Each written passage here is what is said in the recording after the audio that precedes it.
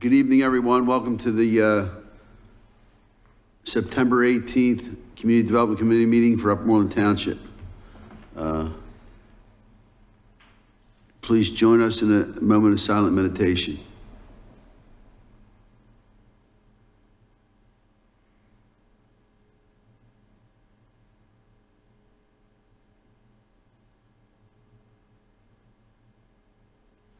Please rise and join us in the Pledge of Allegiance. I pledge allegiance to the flag of the United States of America and to the republic for which it stands, one nation, under God, indivisible, with liberty and justice for all.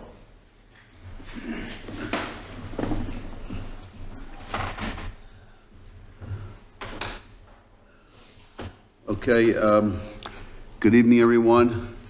Uh, let the record show with us this evening is Solicitor Sean Kilkenny, uh, Jim Hirsch from Gilmore and Associates, Commissioners Peruzzi, Spearing, McFatridge, Township Manager Matt Candland, Code Enforcement Officer Paul Pertel, and Public Works Director Dave Elsier. Uh, Any announcements? Okay. Um, And no presentations. All right, uh, let's go right into the approval minutes for uh, July 17, 2023.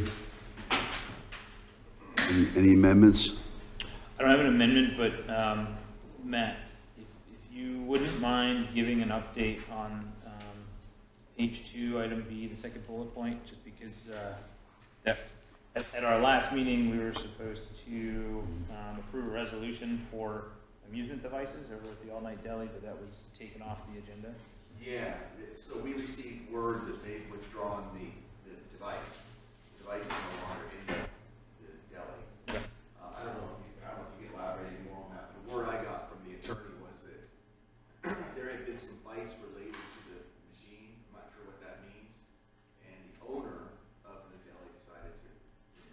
Okay, that's fine, um, probably don't need to go any, any more detail than that, I just wanted in case. No one's using mics. Got it. Um, just in case anybody was interested in that one, because it was, uh, an agenda item a couple months ago.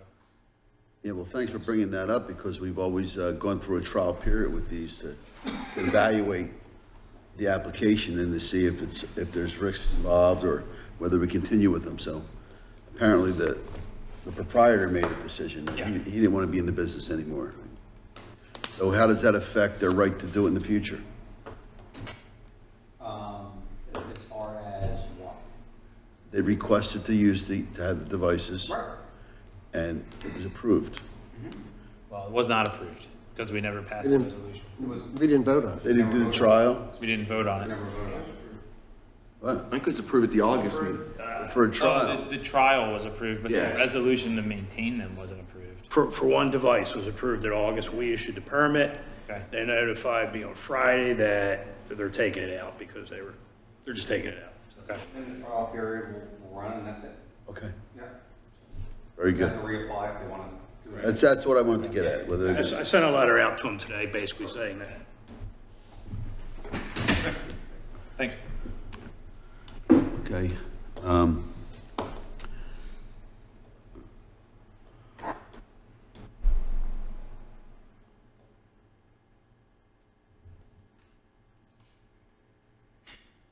Are any, uh, any other, um, comments on the minutes? Nope.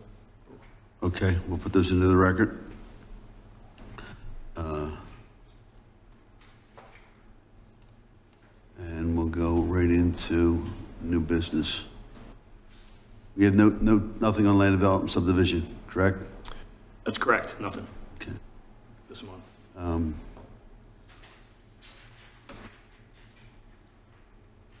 start with A, the groundwater delineation.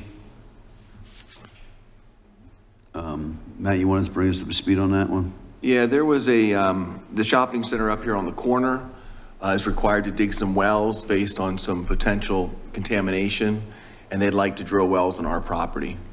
Uh, so there's an agreement that they would like us to enter into. I don't know, uh, John, if you would, if you can elaborate on what kind of agreement that would be, but there would be some sort of agreement that we would have to enter into. Yes, exactly. We'll, we'll go ahead and approach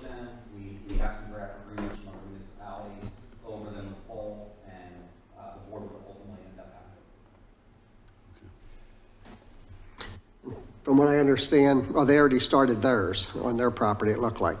Uh, The only downfall we would have, if they do find any contamination on our property, it will have to be cleaned, I would assume we would clean it up, and it's a matter of who's going to be responsible and that stuff. Other than that, it's a good thing for us to, to do it and find out before So- we do construction too. Did I read that it was an insignificant amount, but it was traceable? Uh, that's what I, I read the same thing you read. Yeah. Okay. All right. Are there any other neighboring properties that need to be notified? They are, Not sure.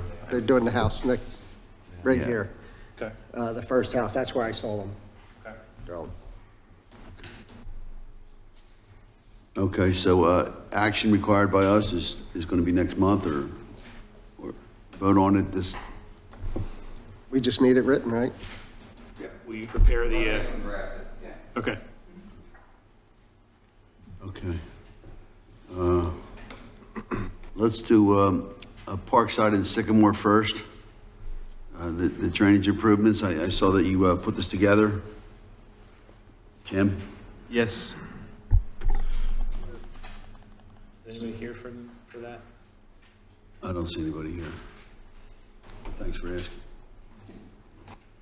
You're welcome, no problem. So we had talked about the drainage issues uh, at this intersection. And you asked us to prepare a plan to um, address some of those concerns. We had talked about the fact that it is not economically feasible to stop the stormwater from going onto this property. Um, But we had, We're to convey it across to it, the system. yeah. But what we talked about doing was adding a sumped inlet to the street um, so that some of the debris that's washing onto the property could be trapped in that inlet and then cleaned out periodically by Public Works. Um, In consideration of that improvement, we, we did a one call and we found out that the sewer line runs directly underneath the existing inlet in the street. So what we can't do is put the sump in that inlet because by lowering the bottom of that inlet, we would be impacting the sewer line.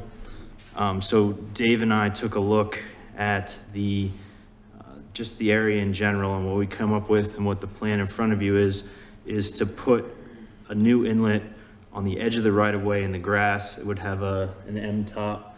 And, uh, that, that inlet there would have the sump in it. And what it would essentially happen is water would fill up that, in that inlet, and that grate is lower than the grate in the street. So, uh, the hydraulic pressure, we would sort of push the water up into that inlet, it would overflow that inlet, and then we would grade a swale back to the wooded area on the property that's, uh, being affected. That's, uh, 2603, I think, Yes. Parkside. Um, we would need a temporary grading easement from that property owner in order to install a swale. The inlet would be within the, the public right of way, so we wouldn't need a, a permanent easement from anyone. We would just need a temporary grading easement to grade the swale. Okay, uh, so we, we don't need, uh, easement requirements for, uh, like we normally have with a, a stormwater?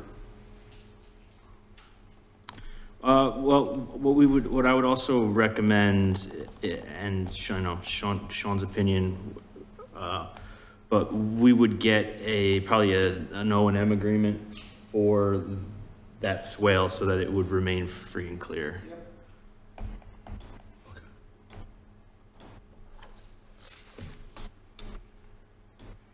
Hey, I'm in favor of this. I've gone with Commissioner Spearing twice. Uh, It's not so much the water, Water is going where it wants to go.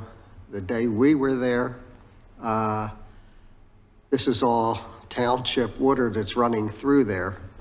out of our, comes into our drainage system, out of our drainage system onto their lawn, and an enormous amount of blacktop, uh, to Like large, Bonnie? large chunks of it, uh, like one foot by one foot by three inches thick. That kind of stuff is landing in this person's yard. So this way it'll be able to get cleaned up uh, before it spills out onto his lawn, because everything dumps in that direction. So I, I also think this is a, uh, good project to do, because, uh, you know, we, we have found out that our, our stormwater is uh, inundated with silt and, uh, undesirables. So this might be an application we can use township-wide and for other applications. This work will be done in-house, correct? Yeah, good. Uh, what's the maintenance schedule? Is it a trial for now to see how often we have to get over there to pump it out? Yeah, it'll be a trial because we're not sure how long it's going to take. But pumping it out is not like water, No, it's, Yeah. it's taking debris out. yeah, vac truck. Yeah. Okay, uh, any other questions on this one? I don't All right, know. so we can move this forward to the full board? Yep. Any questions from the public? That- Any questions from Matt? Yeah, any, any- anybody from the public have any questions regarding parts twenty-three oh five, uh, twenty-five oh three? uh, Parkside. Okay, uh, I did jump over a bunch of other stuff. Didn't mean to, to go off all the new business stuff, I meant to just put that one first on old business, so, uh, I will go back to, uh, the uh, request by Walmart for the waiver of, uh, number storage trailers uh, to allow, uh, this, this is a regular request we get uh, from Walmart for their seasonal holiday sales. So I'm not surprised to see this. It's gone well in the past. Um, It requires a uh, inspection by the fire marshal. Correct. The only comment I have is the letter came from, oh, there you go, she's here. I can come up yet. Hi. My name is Lauren. I'm the covering store manager, so I apologize if I don't have information. I've only been there like le- five days, so. That was my only, my only comment is that Richard's no longer there. Yes. Then he signed the letter. Yes, yeah, Rich is no longer with the store. Oh, Yeah. So we are requesting 20 holiday storage trailers as per previous years, from my understanding, and that I know that it was submitted, so we were just wanted to know the, whether it would be approved or not. It- it- So last year, you had two separate requests. One was for holiday trails, the other one was for improvements to the store. Correct, we, we remodeling are not doing a remodel this year, so it'd just be Good. holiday. Right, so uh, that's an easier request, and um, like I said, uh, we we require a inspection by the fire marshal Okay. uh, for, for spacing and, uh, you know, safety issues. Sometimes you had, you had a couple handrails going up and in and out of trailers last year. So, yeah, as long as that's, uh, I have no objection to this. None. I'm glad we have businesses that need it. Thank you, I appreciate it. All I say is just do as good a job as Richard did. Yeah, no problem. he was I'm just great. covering for right now, so, Well, but for as long as I'm there, yeah, I will for make The amount of sure. time you're there, exactly. Yeah, thank you. Yeah, thank you. right, Thank you very much. Uh, This will need board approval also. Yeah, We need a resolution. Uh, Moving on, new business, item C, Lori and Sh- Sher- Surrey Lane, the uh, demolition of uh, residential properties. I, I can take a, um, at least get it started. This is really just an update for the board. Uh, As, uh, as you know, we've been working on this for some time. The storm was over two years ago. And uh, the good news is we've been awarded the grant. It's in process. That's part of the bad news. It's taking a while for this to reach us. But we are at the point now where uh, we've turned folks loose to start doing the title work, to get prepared for settlement. And we've also asked Jim to go ahead and prepare the RFP for the demolition. And I think there's certain specs that you've gotten uh, from, I guess, in- inside Gilmore. They've done these before. Yeah, yeah, this is uh, something we, we've done before, so we have the specs. Uh, we know what permits are needed from DEP, so we can work on the, it's essentially an ENS plan for each site, and then the, you know, the bid package for the demo, and get the permits ready to be submitted.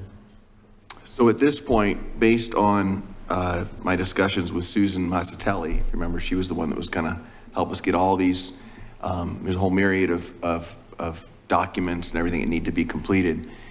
Uh, We hope to be settling on these properties in late October. Now, when we go out, when we'll be demolishing, that's a great question, because I don't know if we're going to run up against any sort of weather issues, but I guess we'll figure that out once we settle, go out to RFP, and uh, it might even be, you know, December before we award a bid. What's the final, so within the scope, what's the final state of the properties once the structures are gone? It'll be demolished, basins removed, filled, grass. So just graded out and planted with grass. Township open space. Understood. I was wondering about if there, there are any improvements that need to be happening in that area post demolition. So putting it back to grass, is that the best final state? I I think the, And I don't know how far the grant allows us to take it either. Yeah, we, we would, we would need to get any sort of, we would have to get approvals for any sort of improvements. And I don't know about reforestation.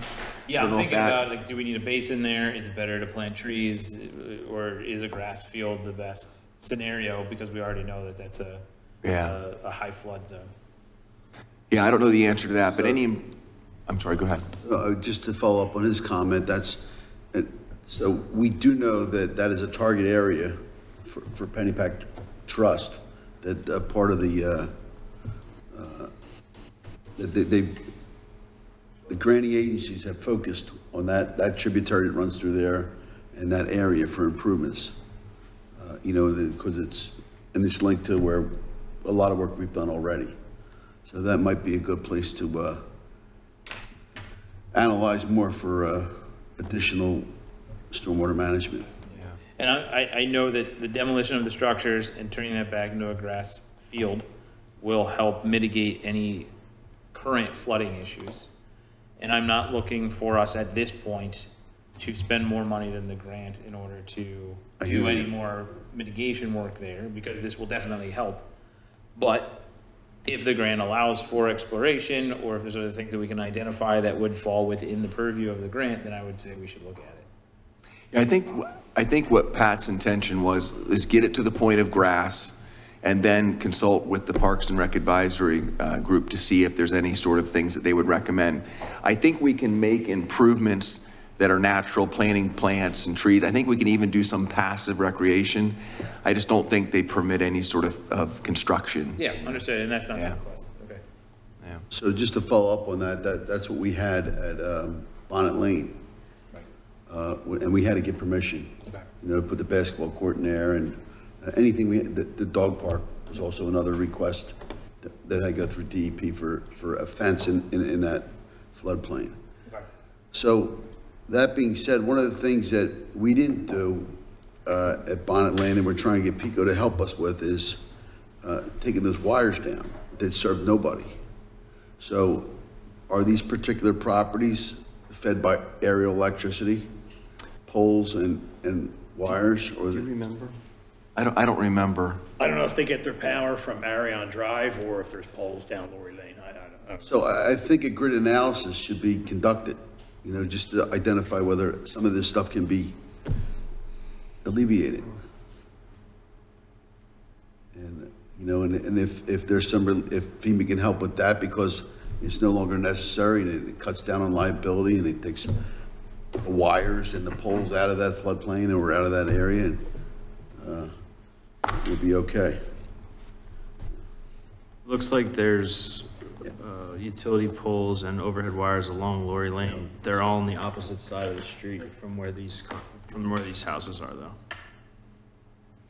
Oh, so we may not, I know we own probably some of that property, but not all of it. Because remember the one house that, I guess it depends on where those property lines fall. Is Lori Lane a township road?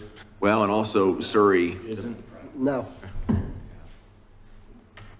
Yeah, there's, there'll be three houses there, and you'll be able to take all the electric out. Because it only fed those three, one there. But, but we can certainly look into it to see if there are any opportunities to. Uh, Any uh, public comment? Yeah, I have a question. Anthony hit on it. So 22 years ago, the flood caused the apartment complex to catch fire, and it wasn't rebuilt. Now granted, here we are 22 years later, and now FEMA's buying out these properties because of a flood.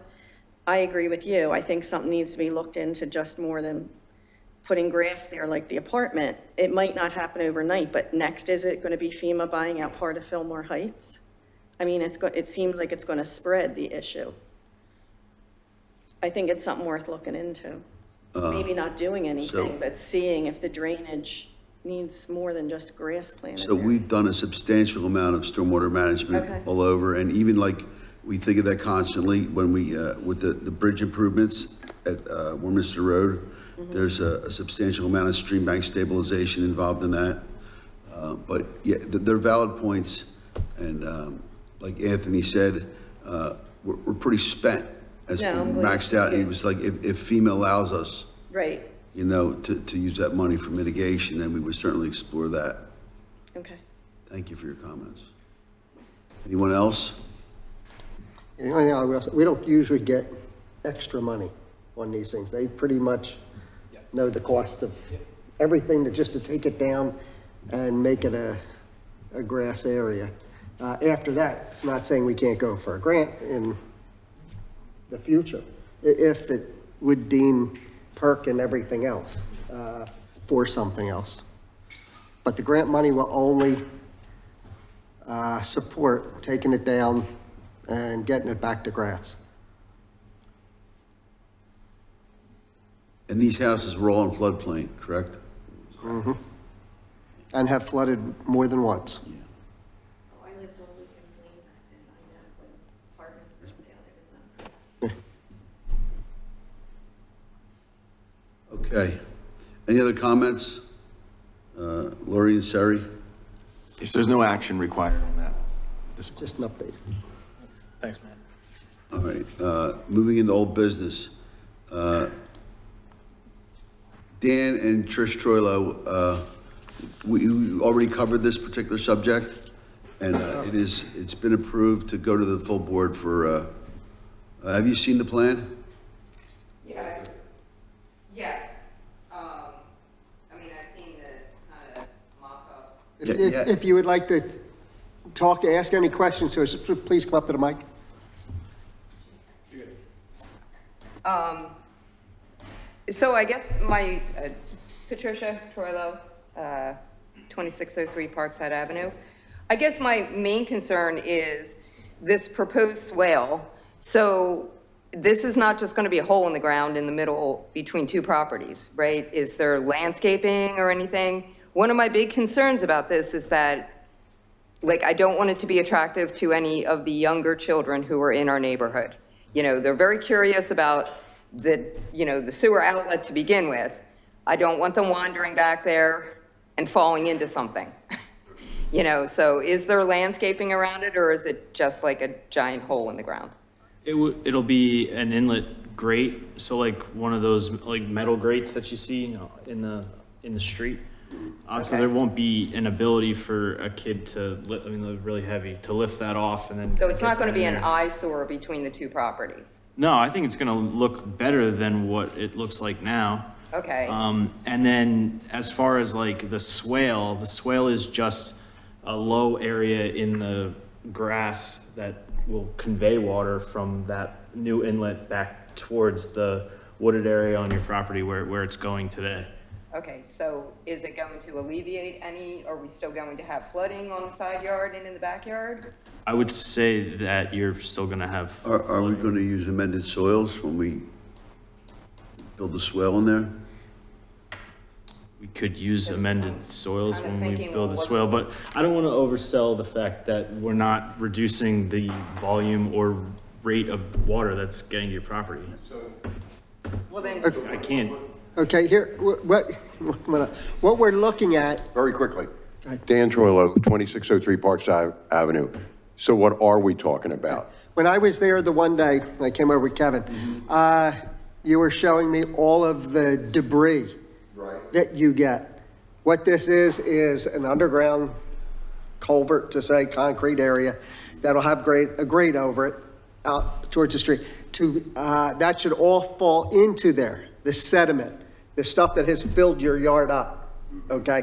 That would go into here, and we have township back, sweep, the street sweepers can vacuum that stuff out also. So that's the first thing that'll happen, as far as uh, seeing a difference. So you will see that you're not going to have a bag of asphalt, you know, every time it rains uh, in your yard and everything else. It should fall into there, and we will monitor how often we have to vacuum all that out. After that, the water that does come across into your, should be clean.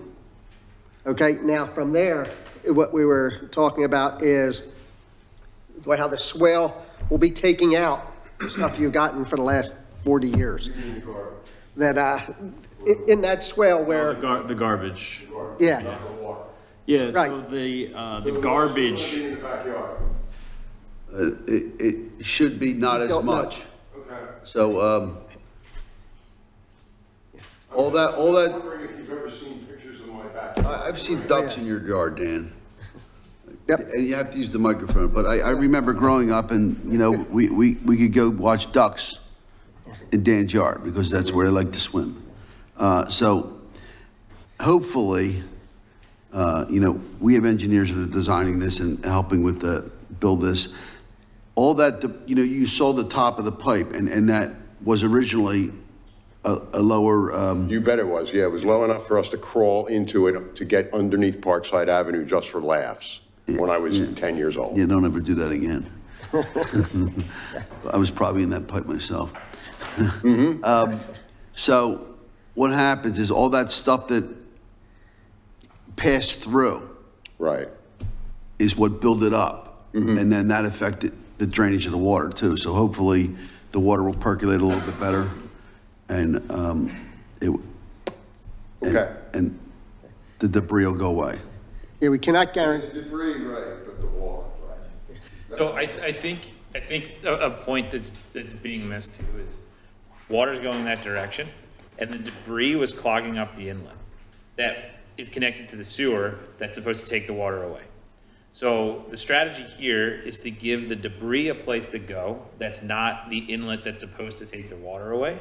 So that way we can catch the debris in a separate area and When you allow say- the When you say take the water away, I don't know what you mean. So the inlet that is in the street mm-hmm. is connected to the sewer. No, it's not. It du- it No, dumps it's on the connected to a big hole that dumps it into my It dumps on their property. What am I looking at here? Okay. right now. A big pole, a right now, pipe There's a hole. little pipe from here to Yeah. over here that just daylights into the. Uh, I do, I do not think you're going to see a lot of Low, that water go away. Okay, I that's think you're going to see clean water, but at least this board's finally committed to start. great. Like I said, yeah, this has so- been, and I've said this before, this has been literally 60 years Yep. of half-step and back, well, I'm going to not talk a whole lot, but it has been a long time, and this is as close as we've ever gotten to some uh, answer, And the nice part of this whole project, far out. it's being done in-house. So you will be able to talk to Dave, to Jim. There are people from here. Right. It's not like we're hiring somebody else out and you don't get any Like information. like I said, I, I truly appreciate it. This is certainly as close as we've ever gotten in literally more than a half century. So uh, I'm looking forward to it. My apologies for misspeaking on the, on the issue. Yeah. Okay, any other comments? Parkside and Sycamore? Okay. Um, Let's go back up to the top of old business. Request by the school district. Oh, I'm sorry. Yeah, that's right. Request by the school district for waiver of permit um, and other fees for upcoming renovations in the administration building attachment. Um, So um, we got a list of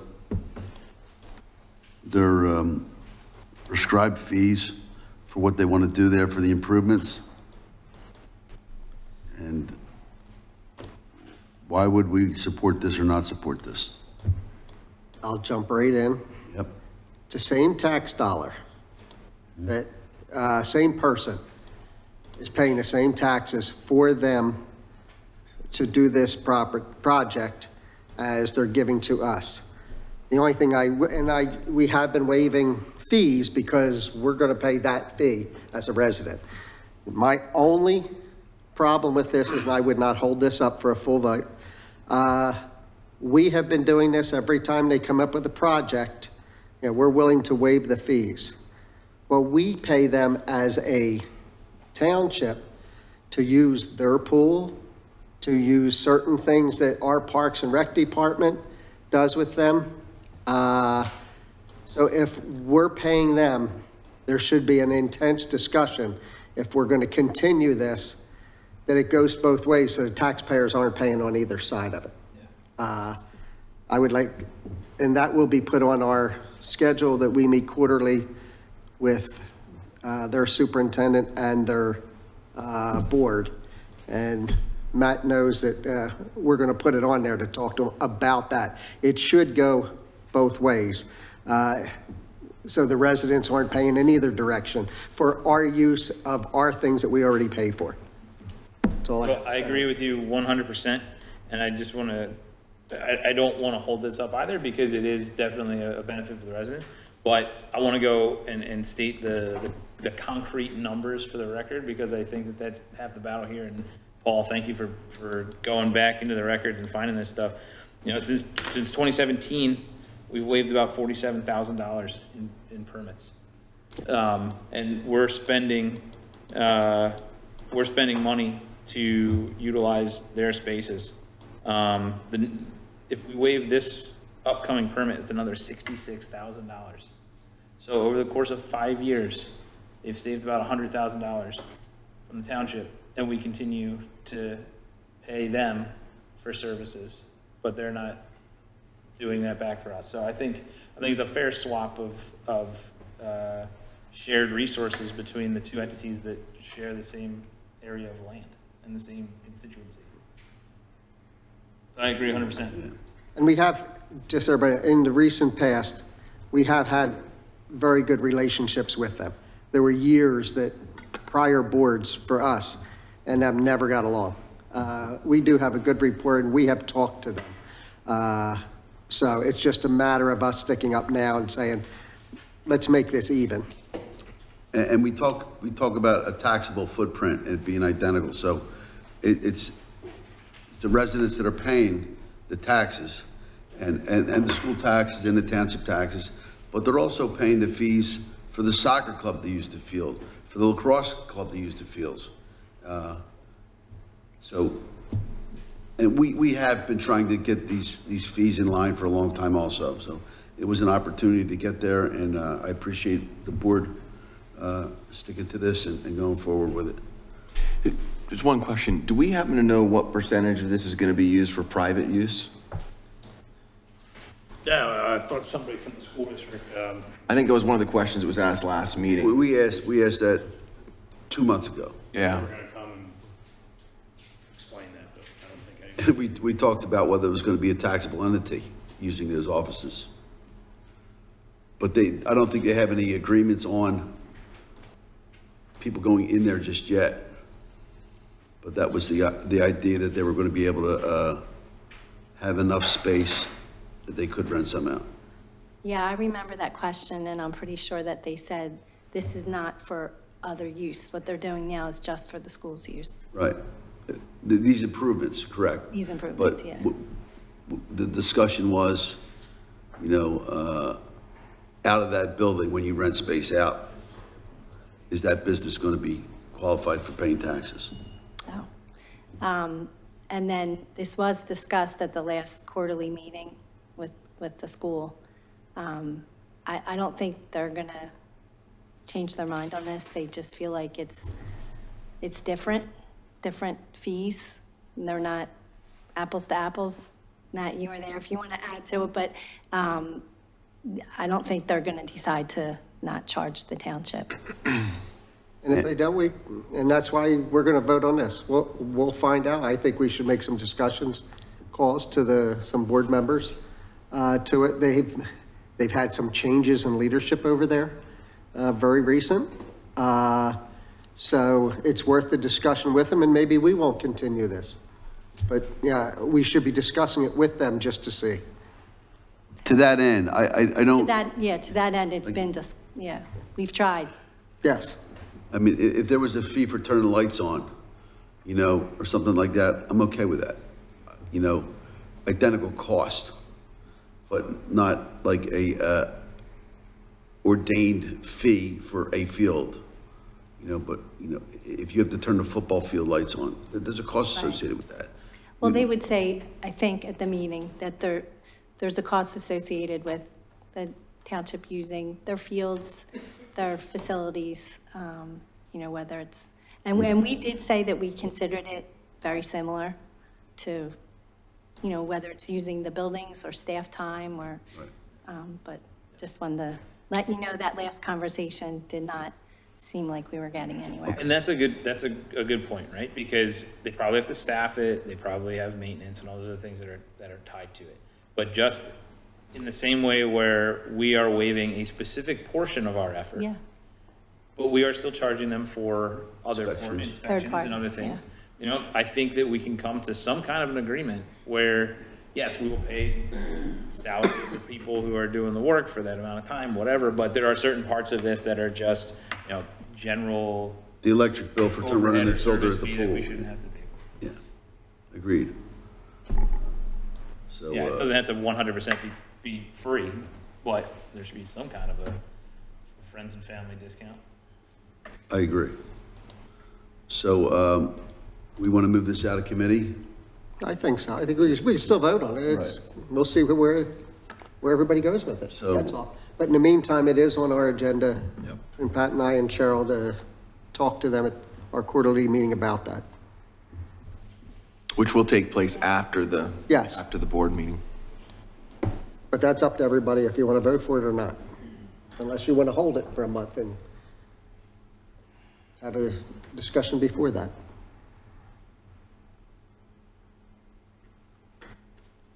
Sounds like a good idea. I like it. Yeah. Hold it? Okay, yeah, we'll do that. We'll, we'll put this on the agenda for the November meeting.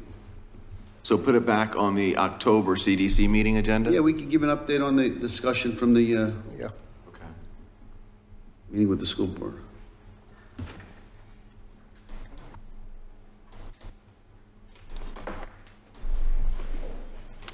Any other comments from the public on that?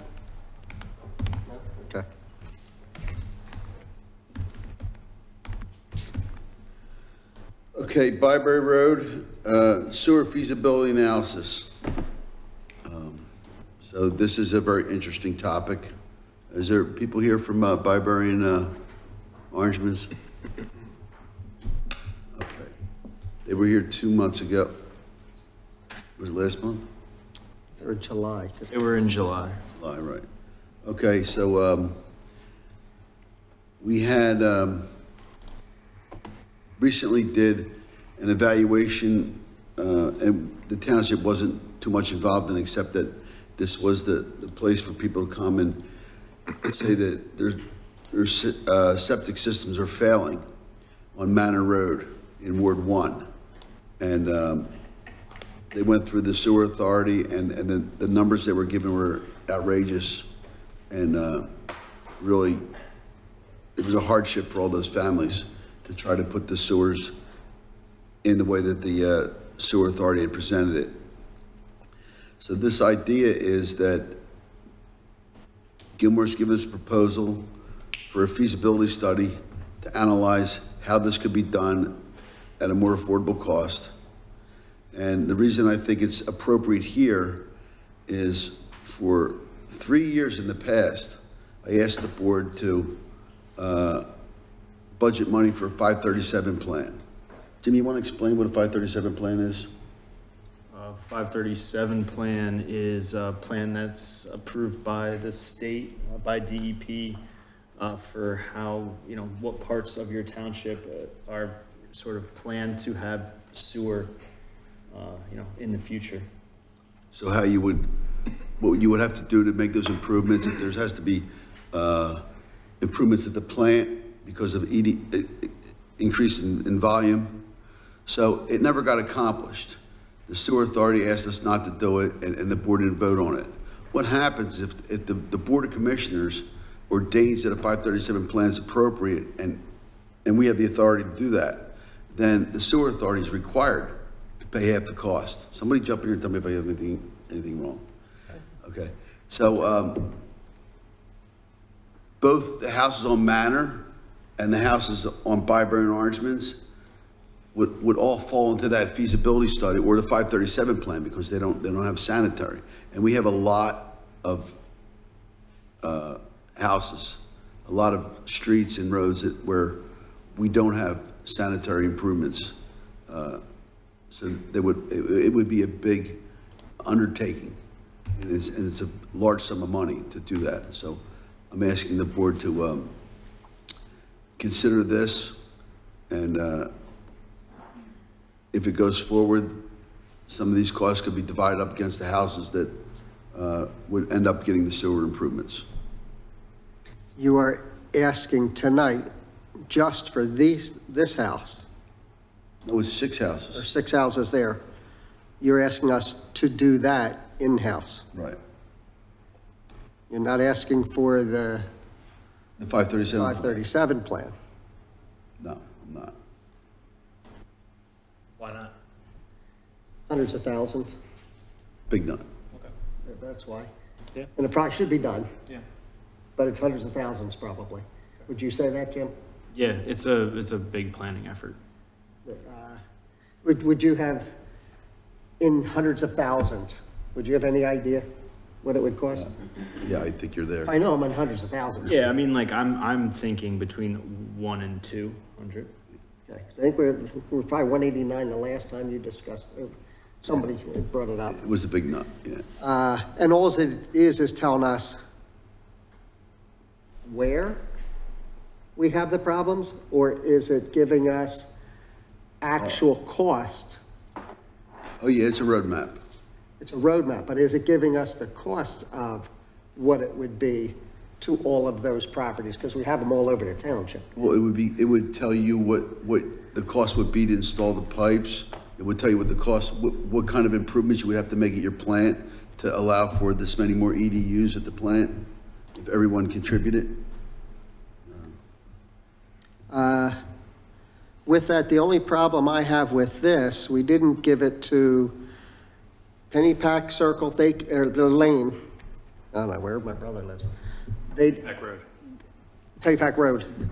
They, uh, they did it on their own, uh, for that one, uh, there, and offered it to, I don't know. So that was- seven- Seven or eight houses, uh, back That's there. frontage on seven or eight houses, and if another house taps into that, the- Okay. the sewer authority will accept, accept that as, uh, That's correct. But we didn't pay for anything there. They did it. Woodlawn, exact same thing. They paid for all of it. Woodlawn's a little different. Uh, Grinder no- pump over three yards. Oh, yeah, no, yeah, We so. didn't do anything that so- was done by Frank Environmental. so the- Everything. The difference between Woodlawn, yeah, you're right, we didn't pay for it. But the difference between Woodlawn and Pennypack is that the sewer authority did not agree to accept um, anything on Woodlawn as their facilities.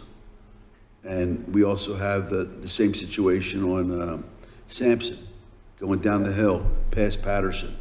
There's like four or five individual lines that come up the hill, and they dump into a manhole. This is, this is a bad situation. So when we come across something like this, it's, it's the feasibility of establishing a, a- a trunk line that multiple homes can hook into, and it actually has frontage for, uh, the farmhouse. You know, if we need a sewer connection there, we have no idea exactly what we have there or not have. I get what you're saying. I, the only, for, for the five, whatever the amount was, I don't have, Eighty-five hundred dollars. uh, for that, we're doing it for these residents, but we didn't for anybody else in the township. That's the only thing I'm saying. You want to do it for just them, but nobody else. I didn't The say, 537 right. would do it for everybody. Uh, And that is a shared cost in that one. Uh, You know, with other people. So I, I, I I get the whole idea about being fair, and, and we've gone down this road with what do we do at Woodlawn? We were opposed to the, uh, how the sewer authority handled that, but it went that way anyhow. Uh, we, we were opposed to how they handled, um, Sampson. And then when Pennypack came in, it was a single resident. And the sewer authority was opposed to what we were, uh, asking for them to do eventually, but that went through and, and, um, we got somewhere on it.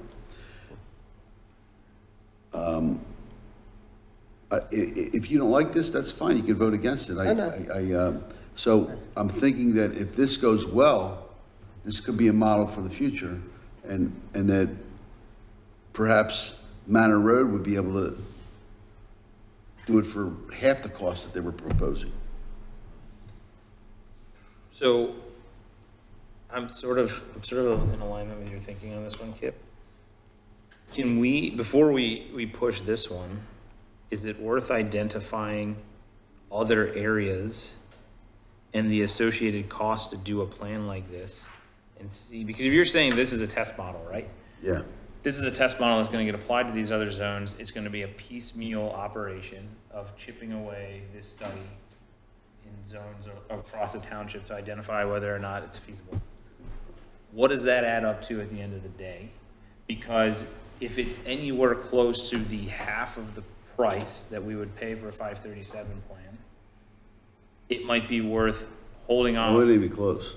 Well, I don't know what the other things are, right? Because the five thirty-seven, from what I'm understanding now, and again, like, I apologize, because this is the first that I'm hearing about this, uh, this type of study. It's a comprehensive, full system analysis of Whole what the footprint. township can handle. The footprint of the sewer authority. Correct. So it's a comprehensive one. This is gonna be a piecemeal one that's not going to put together like a long-term feasibility study or master plan effort for the township. So if you start grabbing all of these little parts and you aggregate them together, you're not gonna get that comprehensive picture of the full sewer system. Um, You're gonna get parts of it and what it means. So what, what you're getting is similar to like the Pennypack Road application, you're getting a pressurized, uh, grinder pump system that, that is, uh, becomes part of the sewer authority. Right. We don't have that yet. Yeah, I- okay. So I, when I talk to, uh, you know, the residents involved here, I, I, you know, I proposed sharing some of these costs uh, if the system went through. How many areas do we have that would require a study like this that we know of right now? Do we have, do we have at least nine or 10? So every application is unique. So, yeah, but, okay, so if you have nine or ten and you just say, you know, that's eighty-five thousand bucks right there roughly to do this. If you did it piecemeal and took this as an, as a test case. I know Cheryl's going to cringe here. No, I, uh, How about find out a real cost for this? You do share it with the sewer authority, ARPA funds. It's infrastructure. And it really changes things for that plan.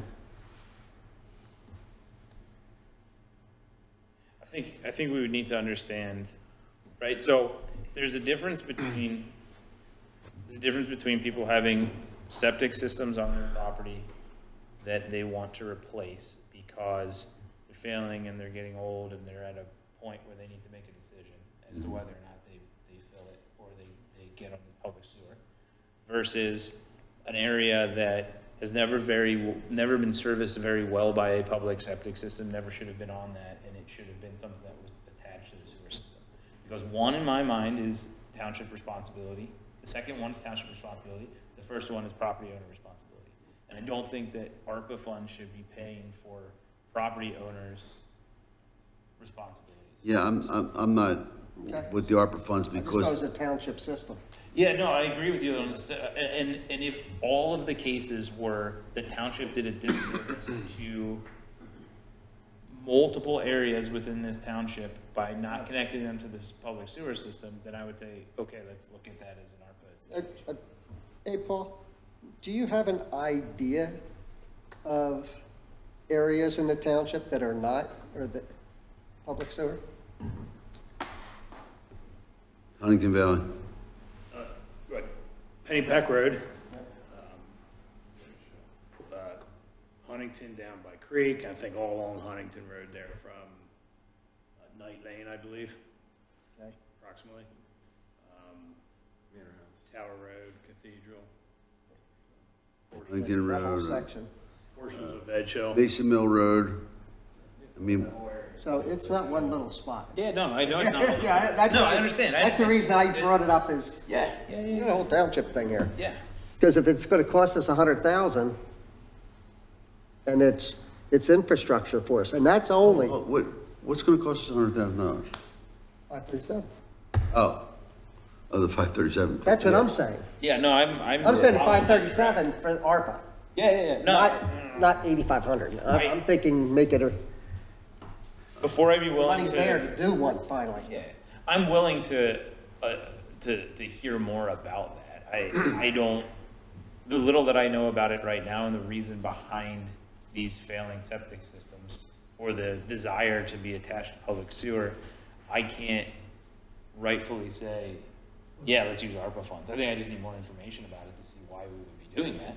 I think it's a logical thing. If it is township-based infrastructure, then it falls within the categories and should be looked at. But I, I think we need to categorize it a little bit better. And, yeah, I mean, if this, this is six houses, eight houses at eighty-five hundred bucks for the study.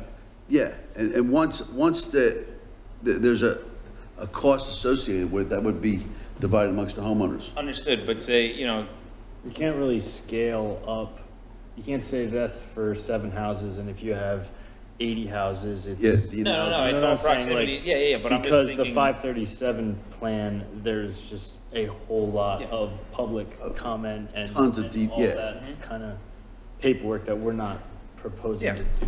understood, but to that point, you get a bigger bang for your buck if you do the whole thing. Yeah, but, um, you need the sewer authority to do it with you essentially, right? Because you can't go ahead and say, oh, we're gonna put together a plan to hook up hundred Upper Moreland residents to public sewer, and oh, that sewer goes to the treatment plant, and the treatment plant doesn't have the capacity Right. to, to take that, so then now that plan has to also be accompanied by plans to upgrade the plant over time to take on those extra EDUs.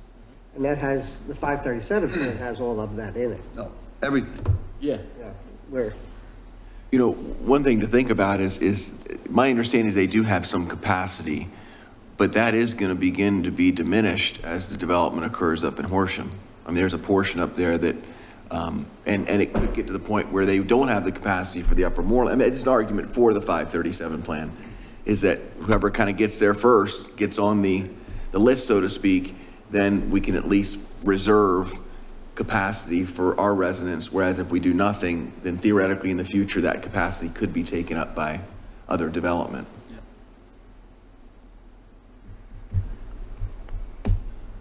So, so what are, what are next steps to come to a, a for, decision for, on this? Like, it sounds. for, in this, What? the eighty-five hundred?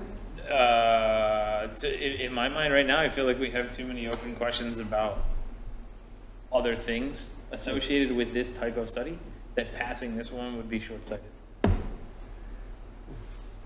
So, you know, do we, do we start identifying other areas that are on septic systems and see what it, what it would So cost did? we, we've already had, individual we've had this, no, I don't think it's individual studies. I think the reason that, I think this is uh, uh, worth investing in is that um, the sewer authority has resisted these pressurized mains. And, uh, and they're successful everywhere. Yeah. Uh, and they're more affordable application in, in installation. Uh, So even when they, they gave these prices to, uh, the Manor Road in Ward One, um, they, they gave gravity prices. I mean, there was, there was a piece there that was, uh, you know, uh, for instance, for a pressurized system, but the numbers are astronomical. And, uh, So I, I mean, if you wanted to put a caveat on this, that if they build this, if, if the, the, um, like, the sewer authority did invest money in the analysis for uh, Manor Road. Did they, House. was that Manor House. Manor House? Manor House. Right, thank you. Um, Did, so there was no cost handed over to those prospective uh, homeowners, right? Sure, yeah, they, they were- made aware of the, of the- of the cost. They made aware of it, if they hooked up. Did they, did What they the have money? cost was gonna be, I believe they broke it down. Yeah, they, they were informed of what the estimates were, the one that I sent to you guys, the residents, did, but it was just too expensive. Right, so what, what I'm saying is, they got to that point where they made a decision without putting any money into it. Right, because the sewer authority prepared those numbers, correct? So, again, if, if we're taking a different approach because we didn't like the way that they did that, or, or the- what the effects was, if this was, um, if they decided to go with this plan, that some of these costs could be shared with, Want to take a different approach? go ahead. You appoint them all. I'm just, I don't understand that. We, we appoint the. we the, appoint uh, that board. Part of it. Yeah, it's part of it. we appoint three voting members of the sewer authority. And that's, again, the relationship we have with the sewer authority is much better than it had been in the past. Yes, it is. But I'm just saying, if there's, if you're saying they're not willing to deal with us, with these things, something should be thought Oh, about. I, I, I, I never felt they, they weren't. They just, you know, they did get to the point where they accepted the fact that they would, they would, uh, um, accept the pressurized system once it was installed and once we had multiple, uh, Have, have we had that discussion with them on these properties? not this one, no. I think that's something we should do. Okay. Well, I think, I mean, I think if we couple that point with what Matt said, we've got a lot of development in neighboring township that feeds into it. We have township development that's happening here that's going to increase, uh, uh, necessary loads. We have other residents who are thinking about wanting to jump on this train too. So it would give the sewer authority the information they need in order to keep a viable system they would be sort of foolish to not want to do this as a partnership and, and even talk to Horsham about it too and see if they can chip in some, some money to study it. But- Um, Horsham, Horsham, uh, contributes, uh, bulk sewage. okay. And they have, Okay. they have Yeah. several, they, they do have several, uh, pressurized systems in Horsham already. But the point being, the future is gonna happen regardless, and if they wanna be prepared for what's happening, then they might as well get the study and the data ready, so they can make the necessary changes when that time comes. Okay, so you would like to keep this on the agenda for next month and then have a conversation with the sewer authority? I think that makes sense. I think that's one of the discussions also on this. If we ask them to do it on other places, to be involved with an estimate, why wouldn't we ask them on this? Uh, So without the Have them five come in. thirty-seven altogether, just have them. chip Well, have them do this too, I mean, both, Yeah, yeah, yeah. but send a letter to Eric and, or have Matt, So would you propose a partnership on this, on this, uh, I don't know. proposal? I want to know what they say. Okay. So let's move it to next month then, and, uh, have Direct. Eric in the room, or, So from this, Invite them to the next, invite them to next meeting? yeah, and let them know exactly what we're looking at for both issues. One for the, uh, Byberry Road houses and what we're, they're looking at, and also a 537 plan. So at least they can look into it before they get here. I don't want to surprise them. What, what would our, Jim, what would our obligation be under a 537 plan? If the, if the board said tomorrow, let's go ahead and do the, the study, I guess would it just be the cost of the study? half of the cost. Half the cost of the study? Is that pretty much, because once the study comes out and the results are there saying these are all the areas, do we have an obligation at that point that you're aware of? no, I don't, I don't think you have an obligation, but, um, if the, like, I'm I think it's- certain, depending on, if, if you have areas that are supposed to connect to public sewer. Right. Um, and then those areas, uh, have a failing septic system, then Okay. I, I think you need to be working to extend sewer to those areas, because if the five thirty-seven plan says that all these areas are supposed to have public sewer, um, DEP, when you apply for a on-lot septic system, they're not, you know, if there's new development. th- But who that pays? Has to be connected. But who pays? I'm not, I don't, I don't know that. The developer, the developer pays for it. Yeah, I- I- What I'm talking about, developer would pay, but I'm thinking about a situation where like, you've got one lot at the end of Pennypack or or something, right? Right. Like, uh, is the developer for one lot going to extend public sewer two thousand feet to? No, but we made it so that they had to accept the people. Okay, maybe, maybe Pennypack's not a good example, but like, Right, yeah, pick another like uh, cathedral or like something in, in that, in that ward. Like, there's no public sewer really around at all. So, you know, one lot gets built, it seems like a- an undue burden to make them extend public sewer. I was actually just I was just thinking about current circumstance. So let's say you've got some folks on Manor House. We do the five thirty-seven. It says, yes, this area should, should, should eligible for sewer. Their septic system goes bad in, in five years. At that point, who's responsible for covering the extension, the cost for the extension of the sewer? Almost.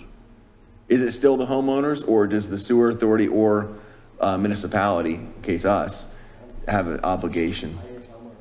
Because they gotta, they have to pay for it anyway. Yeah, else. if, if we ordain sidewalks or if we uh, approve uh, sanitary, then it's like an assessment to the homeowner. So what's the difference then if you do a 537 versus if you don't do a 537? Know where all of it is, and everybody has the information to actually uh, get together to do it for a street. So it's just an inventory, really, then it's just. Yes, it's inventory and how to get to that point. And do it's we have the capacity? Yeah. Yeah, All of those things is what it's for. The homeowner's still gonna pay for the hookup unless this board uh, eventually at some time, yeah, says, we'll help you, you know, in doing it for an area or something like that. And I'm pretty sure all sewers now, that, it's on them if it's to their house. Well, it's, it's, the Board of Commissioners could, could vote to supplement it or at any time. That's what I said, that's, Uh, But yeah, it's at that point.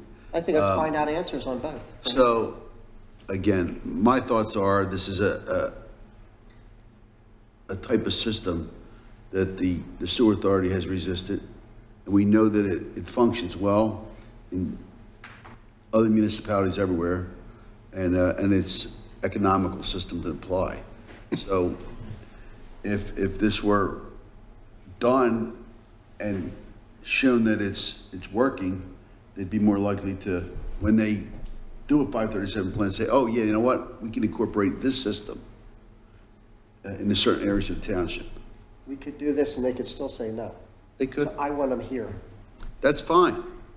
I, I understand that. Um, we're gonna talk about something that's cost, and it's cost to them, uh, and, well, they might make it back, but it doesn't do us any good to do the study if they say, no, we're not going to do what you're saying. Can we also request a proposal for next month, next month's meeting? So we Next month. Have a number? Yeah.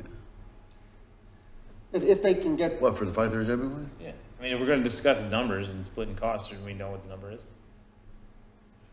You- You're gonna, you're gonna have to budget a lot of money for five thirty-seven plan. No. Yeah, understood. if it's $200,000. Yeah, we would have to budget half that money. Right. I like, I like Cheryl's look at me. What?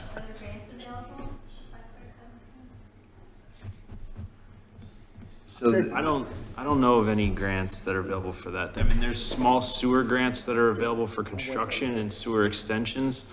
but I don't think that those are planning dollars, those are more construction dollars. Okay. I'll look, I will look into both of those questions for next month. What a budgetary cost would be for a five thirty-seven plan.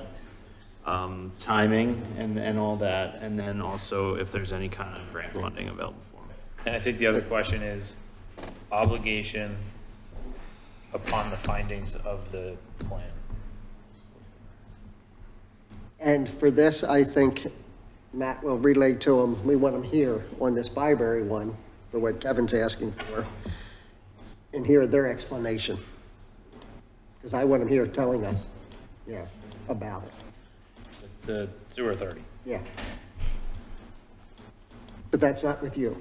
That, that's, just- I'm just saying, that's, I want them to be here and tell me, So, okay?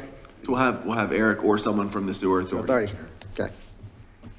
So let's hold this till next month. No problem. Is that okay? Good. All right, this, this item will be continued. Any public comment?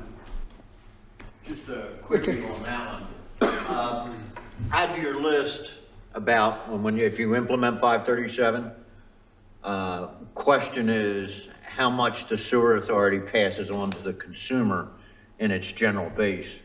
And I think that'll be an eye, wait a minute, it's an eye-opening issue for you. When you say contribute, you mean to the 537, how are they going to get it, or to each homeowner? As a result of the do it? 537, Right, all right, all of a sudden there's a uh, massive undertaking, millions. right? That gets passed directly to the consumer. So does the 537 plan in general. I mean, Wait, the- the- minute, all I'm trying to tell you is be careful. I, I know this. So look, I mean, we generate revenue only one way. We tax, you know, and, and they charge, uh, the, the township will have to raise taxes or, you know, take it out of our budget and they, you know, have a sewer rental fee, you know? So that, that's where all their money comes from. So every penny that we all spend collectively on our sewer rates is also going to be used for 537 plan, no matter what. Dan, check before you leave. Check very carefully. You, I you, understand everything you're saying. you'll be in the room next month? Huh? You'll be in the room next month? Oh, yeah. Okay, thank you. You're- You're stepping on a landmine. I agree. Any other comments?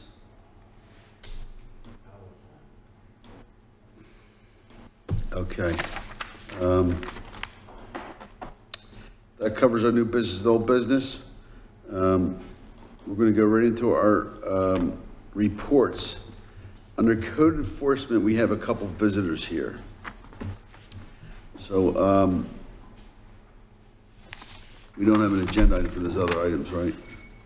So let's start with um, the um, pool rental, swimming pool rental. Yeah, so I, I can get this started. Uh, so following the, uh, last meeting where this issue came up, uh, the folks, Mr. Berlin? Are you, are you, you're not leaving, are you? No. Oh, okay. Oh, okay. Sorry. some residents uh, came to the meeting and expressed concern about the rental of a swimming pool. At that point, uh, the board asked that it be placed on this agenda. Uh, So I asked uh, Paul Pertel to look into it from the perspective of the code to see what our code uh, said about it. So short answer, nothing, I guess.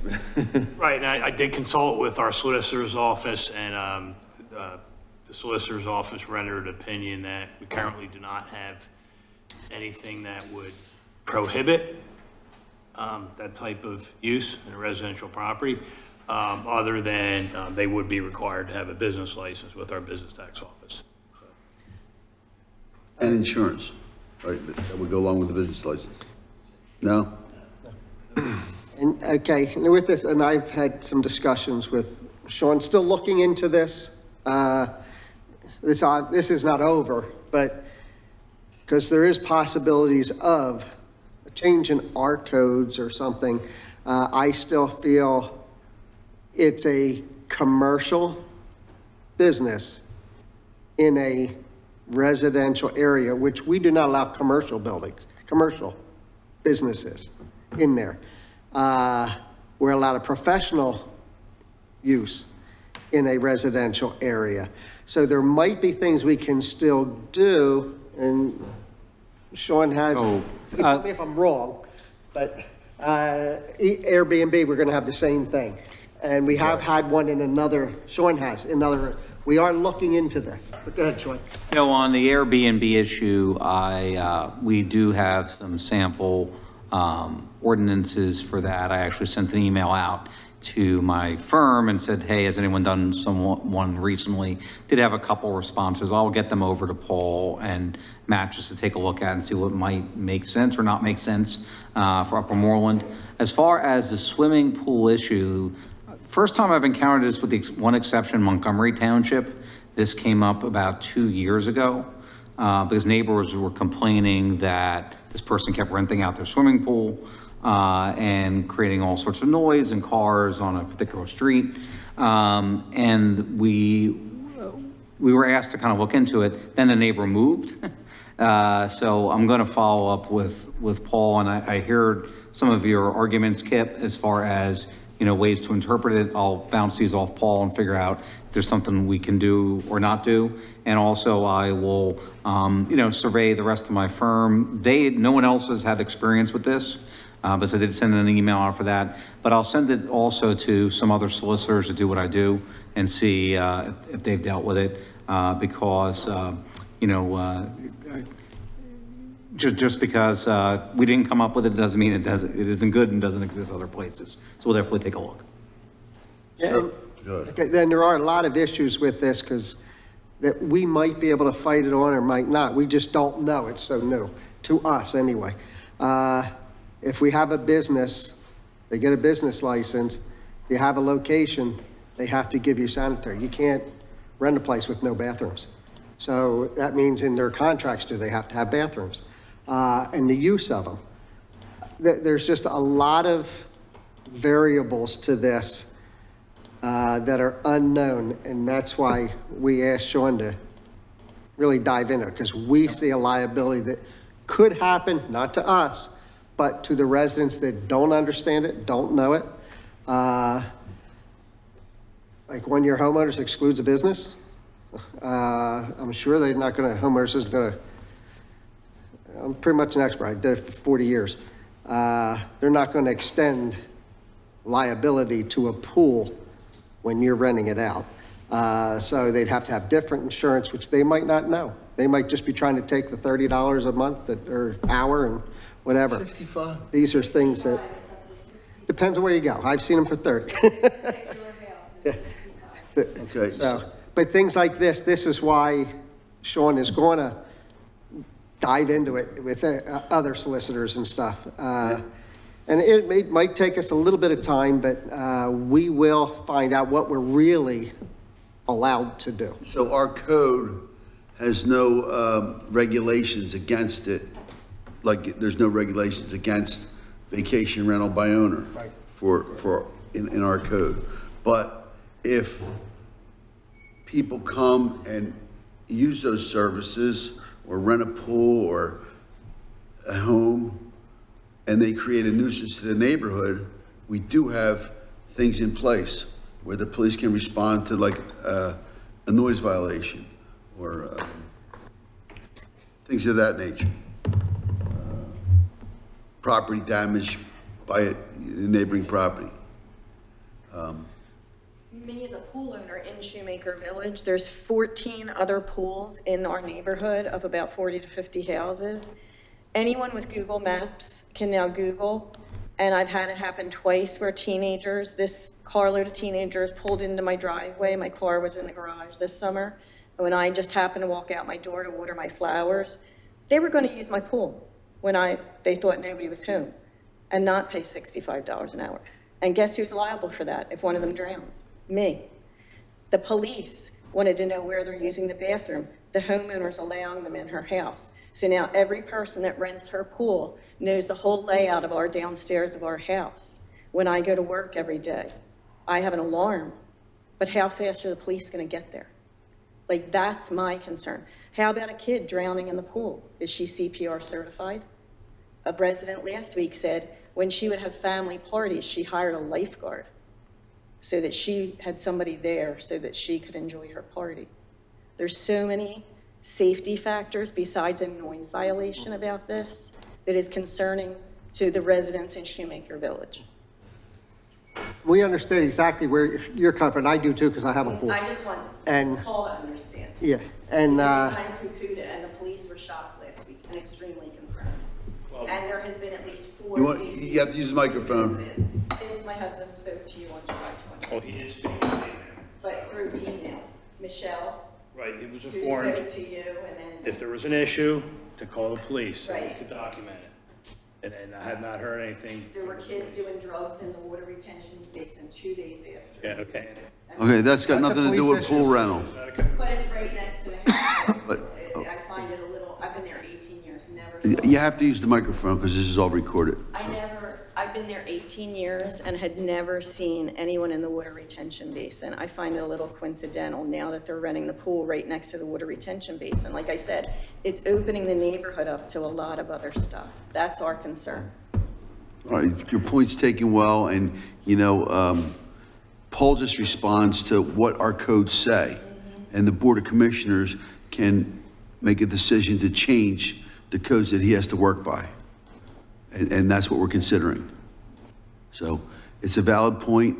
We uh, talked about the, uh, the Airbnbs and the vacation rental by owners. We talked about that, and, and there's just, No, I it- but I don't think Ivy Stream Hideaway is being respectful to the rest of the pool owners in our neighborhood. it- it's, it's That's everything. it. Like, And it's, you know. they don't have a business license as of today. They don't. Okay. Tha- Thanks for bringing this forward. We share your concern, and, and we are looking into this, and this will remain on the agenda.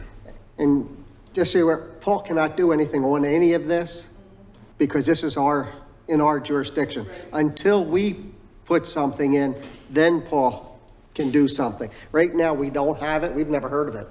And uh, so it's up to our board and our solicitor to come up with the rules and what we're allowed to do, what we can do for these things, then Paul can enforce it. Other than that, he really can't do anything because we don't have anything on the books for it. So it's, it's us that has to do this. We do, we a- appreciate you bringing this forward. Absolutely. We share your concern a- and the risks for, you know, the entire township, and we're we're taking it seriously. Uh, But it's, it's, it's not, you know, Kip said it well. Never heard of it. Thank you. It's ours. Um, Any other comments on uh, this type of business being conducted in the township? Okay. Uh, Continuing on uh, code enforcement, Mr. Berlin, would you like to address the board or this committee? Thank you. I didn't know I was under code enforcement. Uh, Max Berlin, 3010 Just don't bill us for it. Tower Road. I'll give it to you wholesale. Um, We're going to kind of come full circle. Uh, Unfortunately, I'm going to mention one little thing about the sewer. I didn't want to come up before. I was the unwilling participant in a sewer in Gwynedd Valley, and uh, they balked at the pressurized or the grinder system, and the pipe in front of my house was 28 feet down because they wanted to run a gravity system. And what they did is they came up with some creative financing. So all of the homeowners were part of the creative financing and they'd send you a bill for, you know, 100 or $200 a month for the next 30 years. If you sold your house, you had to pay it off. And if you didn't, you paid it out. Thank you. Um, Commissioners, other distinguished people, please forgive my back. Uh, This basically started with the idea, and it's a shame Fuji's not here. Um, I'm sorry, John Fugello. I was a fireman with him in Plymouth a lifetime ago. Um, This started with the idea of a dry hydrant system at the top of Tower Road to have water brought through in a pipe that had no water in it, so to speak. It was a dry system, uh, in the event of a fire. And again, I was uh, the unfortunate recipient of a fire. I know that the Hearst House at uh, Lenox and Cathedral had a fire. Our uh, our uh, senator's house burned down, and there was another one, well, the other one uh, that was on Terwood. Uh, There's water there, but, uh, so it it started. House. Yeah, yeah, yeah. It started as a dry hydrant system. Uh, I even went as far as having the engineers from Sam Wexler come out. We walked it off. We, we came up with some budgetary numbers.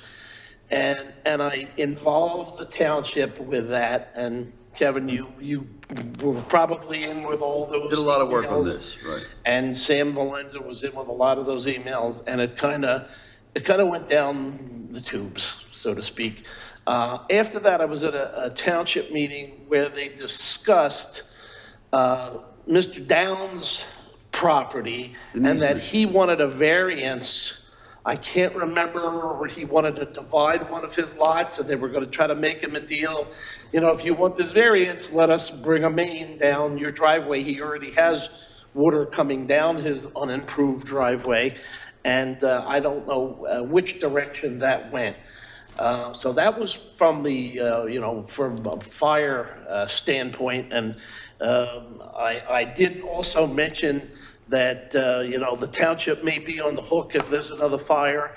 God forbid if there's a fatality, uh, somebody's going to throw a res ipsa loquitur at you.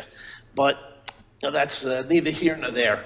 So uh, we began with the uh, firefighting end of this, and where we've come to at this point is uh, water quality.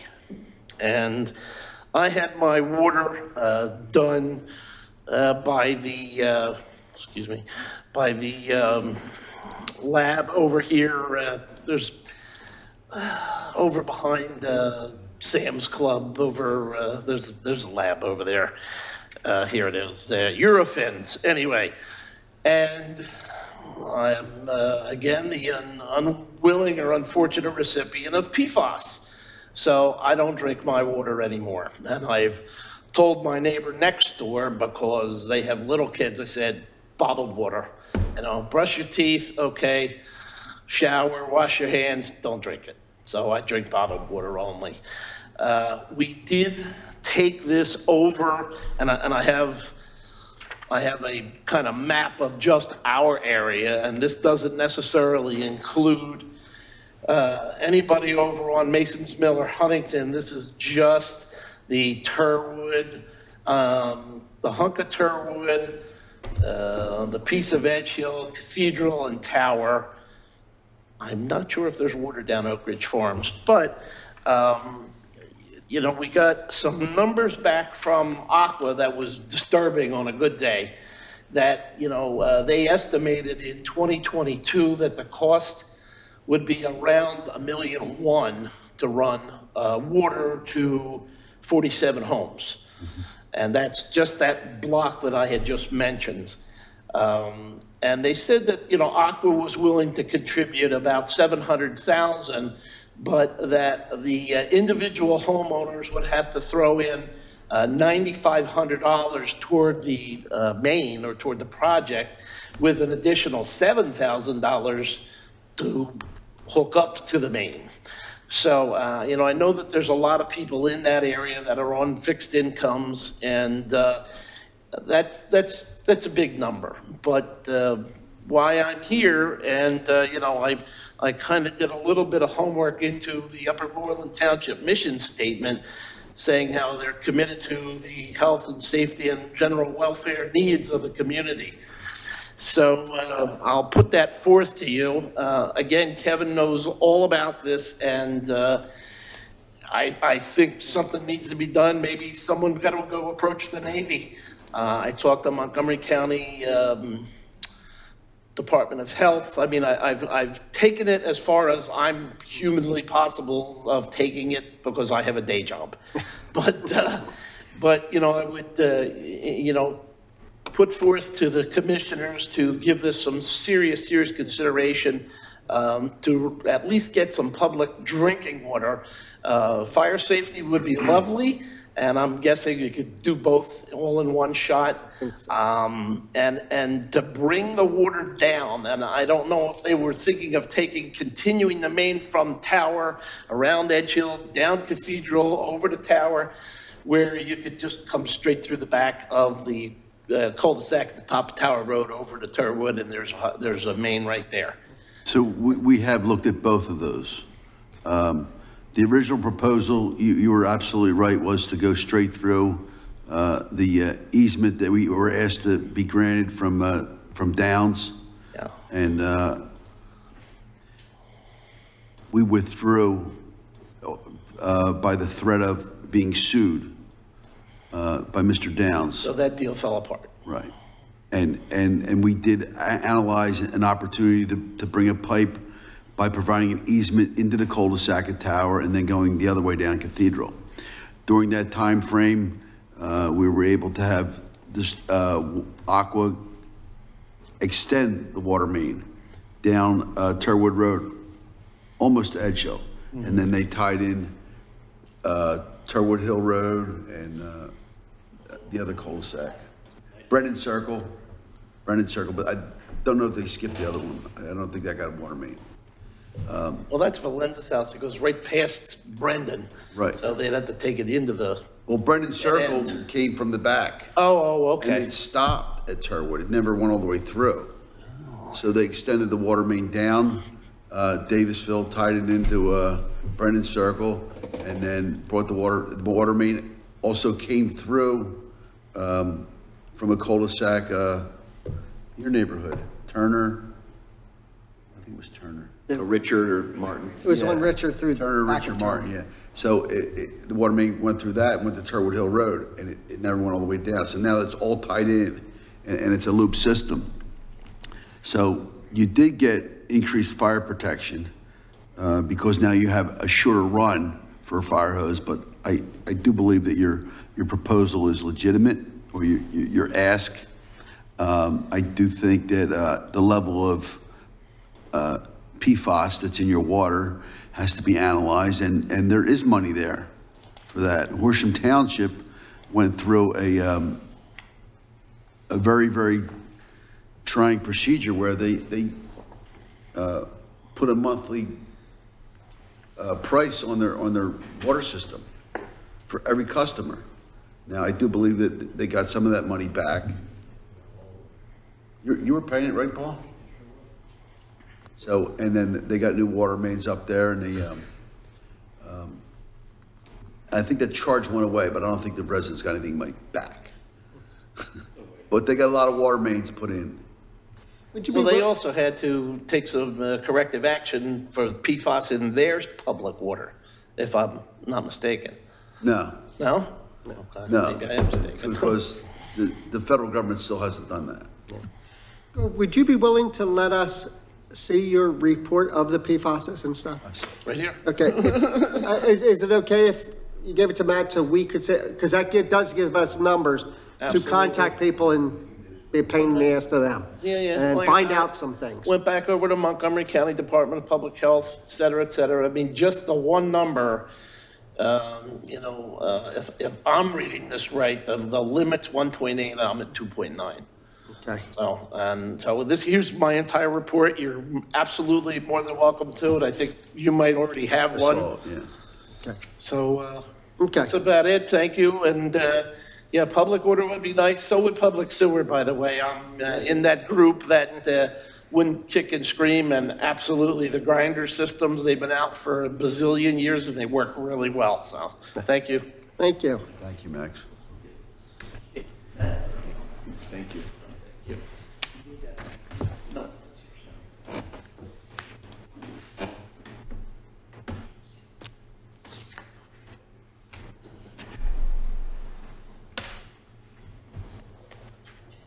Any, um, any comments from the public regarding the, uh, Code enforcement? no, the potable water on Tower Lane and Cathedral, Davis Hill, Edge Hill? What's the other street? Lennox is back in there. but That's just one house. No, no, across, across, uh, Edge Hill. Lundy? From Cath- Lundy. Lundy does not have water, right?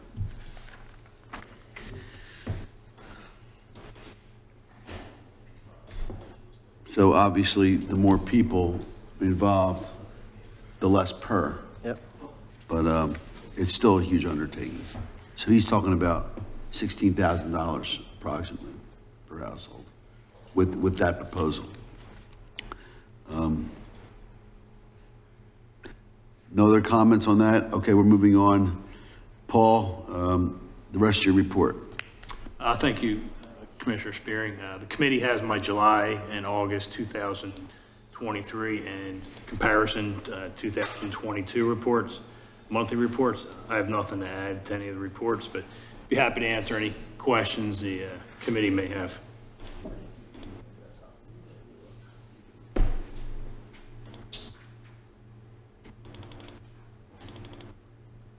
Right, hearing none, we'll go right into the Public Works and uh, Recycling Report. Thank you, Commissioner Spearing. Um, You have my August 2023 report for Public Works and Recycling. I have nothing further to add, but we'll answer um, any questions that the board or the audience has. Yeah, so before we talk about the trash cans, how we make out with paving? Paving's completed. Um, Slightly a little under budget, which was good. Well done. Um, Put together the new road list for 2024. Um, That'll be submitted with the 2024 budget. Um, Well, I hope everyone's satisfied with the roads. Um, Hard work for my guys, they actually enjoy it, doing it. Um, So I hope everyone enjoys the new roads. When you're doing these roads, are we, are we running into a lot of curb repairs? Or is Um, it just here and there? Here and there, um, probably altogether with all the roads that we did, maybe uh, 140 feet. Oh, okay, good. Then at least they're lasting. Yeah, so what we- we'll do is, if there isn't enough, you know, a lot of times the curbs fall, if there isn't enough. If it goes from eight to six, we're not gonna do anything, you know. If it doesn't, curb's gonna have an inch reveal, we're gonna change it. Okay. I just didn't know how much we had to do every year. Right, yeah, it's not that much. Good. Well, I, I have to tell you, I'm very impressed with the, uh, uh, the condition of the roads after we've paved them. So I think your, your crews are doing nice work. Yeah, since I, I started here in 2013, I believe in 2014, maybe it was 15, we started, um, we had a 12-year plan to repave all the roads in the township. Um, We rated the roads A through D, A um, being the worst, D being the best. Um, As of now, um, a lot of the roads are still at D category that haven't been paved in 10 years, um, or a new development and hasn't been done. Um, So in that 10, 11-year period, we did 95% of the roads in the township already. And it shows. So, you know, this next year, my plan is to do a couple of the longer roads. Um, So, While we're talking about paving, are we going to be doing the paving at Farmstead next year, next year? Okay, next year. We just did North Willow Grove Park. right. Did the concrete work there and paved it. I saw the, I saw the sidewalk you did at North Willow Grove. It looks very nice. Uh, Good job there. Um, So also in your report, you have um, contacted PennDOT about pothole concerns, on all state roads within the township. Yeah, always, whenever, since the state roads um, are maintained by PennDOT, if there is. Or not. Are. There. Right. Well, they're not. So, um, whenever we get a call for a pothole or we see one on, on our routes, um, I'll call PennDOT. I contact the um, supervisor, District Six, their super, or their foreman, not the superintendent or, or, or the lead there, but the foreman who's responsible for our area. Um, Then they'll come in. So we notified them that we want them to dig out that driveway on Edge Hill Road, and they haven't done it yet. Well, That is, um, Clancy is his? Yeah, I'm still waiting for a phone call back from him. right. Um, and, uh, you know, we had some interesting, um, We're also waiting for the city inlets to be changed. the buckled blacktop. Uh, So I do want to, in addition to those city inlets that we have identified as their responsibility, uh, the two manholes on Easton Road by Mill Road, really out of sync there. The stormwater inlet, uh, the stormwater manholes. Uh, One's really bad. I hit it every day. No, it's, it's a, it's a manhole that's, Why do you hit it every day? Don't you drive Yeah. around it? Because the volume of traffic on Easton Road doesn't permit you to drive around anything unless you go at a different hour. It is the definition of insanity. You do it over and over and over. I do slow down. Uh, So I, I just saw that PennDOT took a, a very, uh, heightened awareness into like project on Davisville Road. So I think we should remind them about a couple things that they have that still are unfinished. About things they do and they don't do well. So- Easton Road coming down the hill, try and stop a truck on there. That's what we were just talking about. Yeah, I'm just saying, I mean, that's, that's horrible, in the- especially in the rain. But it's a very costly thing to fix it. It's pretty much put concrete under it. Okay. Um, First tractor trailer load of trash cans were delivered today. So three more tractor trailers will be in tomorrow. Um, When I was leaving today, they, I would say they probably had a two, three hundred on their trailer that they were gonna deliver. So I don't know how late they were delivering today, so. Do they automatically start with those now, using them? No, no, no, next, next trash collection, next week. Okay. So they're telling me everything should be completed by Sunday, Monday the latest, which is good because no trash on Monday, so. Do you have any recommendations for how to get rid of or other ways to use the trash cans that you already own that need to be replaced? You can use the trash cans, put your yard waste in the trash can. You can, you- you know, the brown bags, put them in there if you want. Um, You can put a sign on them. Um, was gonna look into, because the, uh, a sign on for what? To be taken for away? the trash to take away, yeah. Thought you- Maybe it was a nice sign holder for. Yeah, but I was also going to check with, um, the trash can um, manufacturer rep is in town. Um, He mentioned to me before that um, they had a community that, uh, I, I don't know what the cost is. They recycled the cans. Like if we collected the cans and then they would take them, I just don't know what the cost is. Okay. So that way they're not going to the landfill. Yeah. Yeah, no, that would be, that would be good to know, Right. because everybody's gonna have at least one. Right. So, yeah, we're, we're telling everyone either to put it out or, um, reuse it as, um, something around the house for, you know, for yard waste. Are we interested in looking into a recycle program for the trash cans? For the ones that we have? I, I, I would, I would be interested in that. I mean, I'm keeping mine. I'm gonna, you know, drill holes in it. Yeah, like- drill holes in it, keep the water out. Yeah. you know, Uh, but, um, sure, I mean, you could put it under a rain barrel. I mean, under a downspout, Yeah. operate as a rain barrel too, if it didn't have holes in it yet. I personally would be interested in knowing what that cost would be. I'll find out. Okay. Um, I already have, you know, some people, like myself, already have yard waste trash cans. Now I've got an additional one that I don't know what to do with. And I don't want to throw it away. It seems. Right.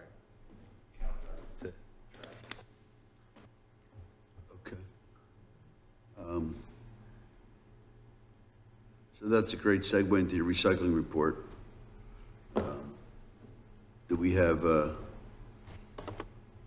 any analysis on the plan for the the future as far as this consortium goes? Uh, no, I have, uh, there hasn't been a meeting, which I was invited to. And no updates? No. So there's still a couple different plans? Well, well, the last that, um, one that I was included on, they were seeing if we, like I mentioned to you before, where all the municipalities would all, um, I guess commingle into, with a grant, uh, the 902 grant. And they thought, their understanding was, we still could get money and still be able to have our own grant, but that, apparently that wasn't the case. So our money would go to, So our DEP grant would have to be king, part of the consortium? but, um, my opinion, it, it's not cost effective to do anything at that. Just continue to what we're, to, to go on a bid process? And what are we on, a, a three-year bid for the, the recycling? Yeah, it's three with, um, few years of uh, extensions. And that's whatever the market bears for that, and it's, Yeah, it's based on a, an index that the consortium, um, you know, told them to use. So Basically, their, their, their bid is based on how much they're gonna charge to sort the, um, so everybody that's in the consortium, are they all commingling? Or does anybody separate paper? Well, um, Abington separates paper. They separate cardboard. So the residents have, um, two cans, or three cans, trash, recycling, and cardboard. And we did that at one time. We did that, um, before two thousand eighteen or seventeen. I, uh, I realize it costs money, but I'm not looking to make it any more difficult on, uh, homeowners as it is. It's, uh, the situation we have now is, is a big change. And, uh, the automated trash is gonna be a big change. So, uh, thanks for that report. Anybody have any comments on, uh, Public Works or recycling? Okay, um, let's go over anything the engineers report. Thank you, Kevin. Our September 2023 report is in your packets. Uh, The only thing that I want to point out is that we've been uh, working on the police station land development plans and advancing those. Uh, They were submitted uh, to the county for review at the end of August. We're scheduled to go in front of your APA this Thursday, and then uh, you guys will be seeing those plans for review at your uh, October CEC meeting. So I'd be happy to answer any questions anyone has on that project or anything else in my report. The only, uh, project that really, like, I'm sure everybody's interested in is, uh, the Olive Garden, how's that going? I see they've, uh, cleared some of the way for the, um, the sidewalks along Easton Road.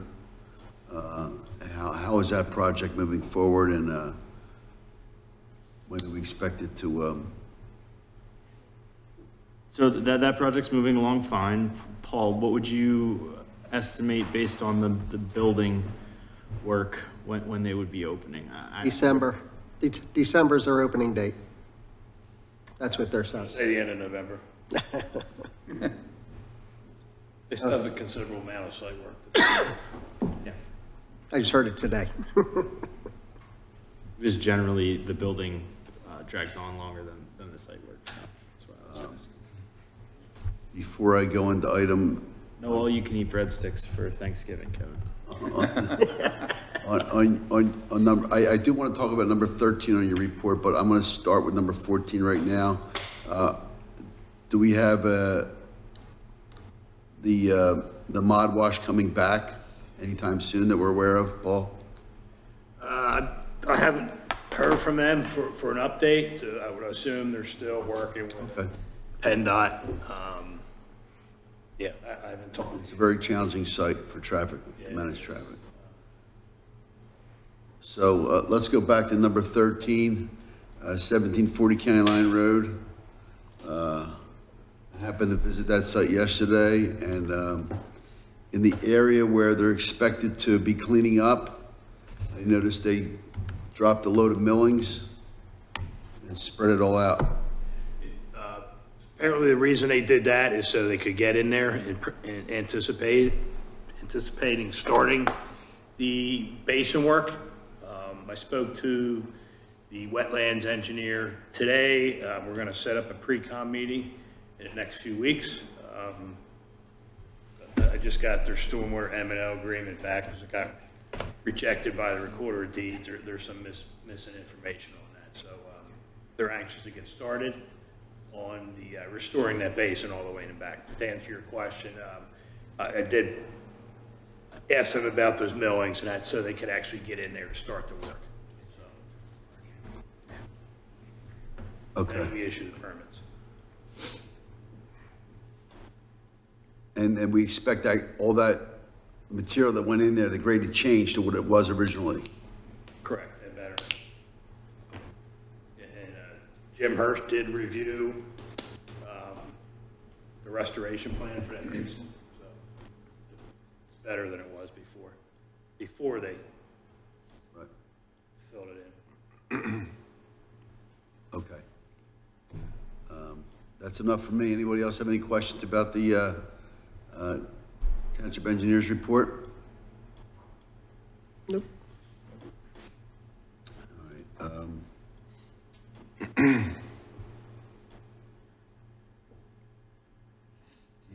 um,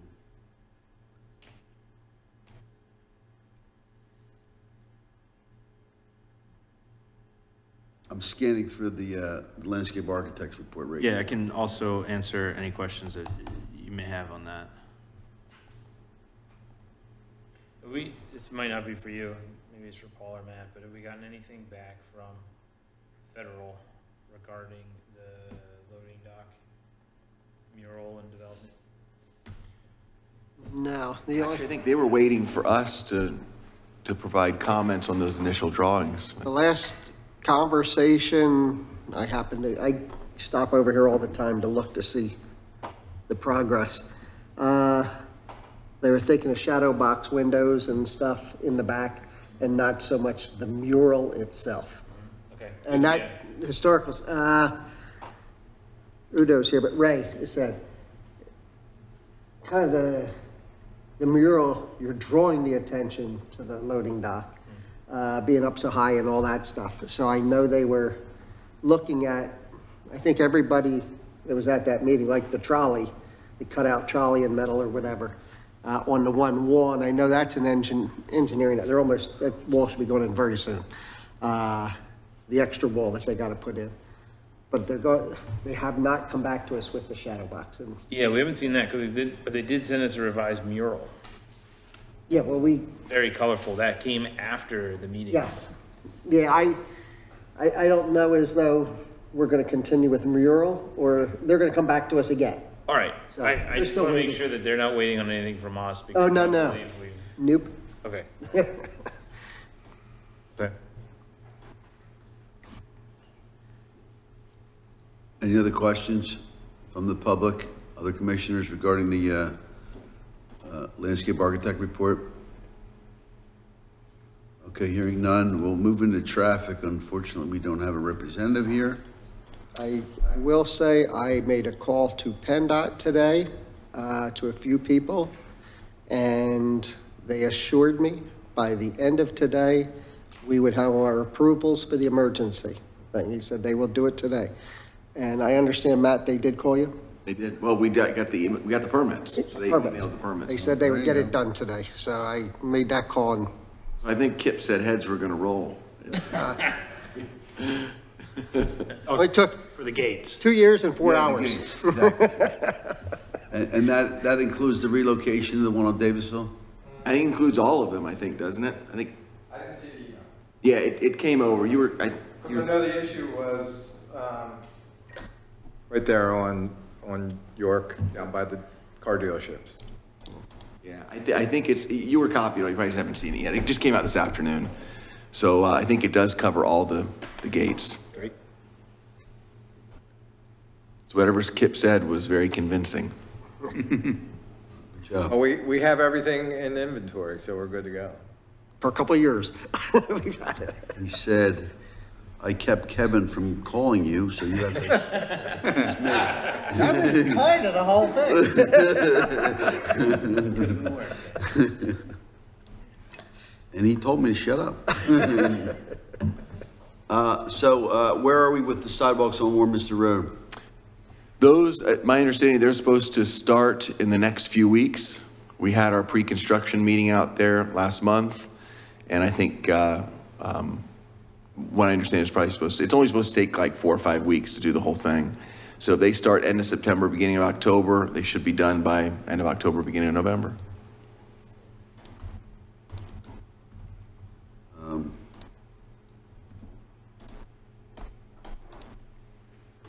And how about this, so there's, there's two projects I would like to ask Anton about, but, uh, hopefully we'll hear from him next month then. Um, and that is, you know, our Blair Mill Road project and the one that is under construction by Horsham right now.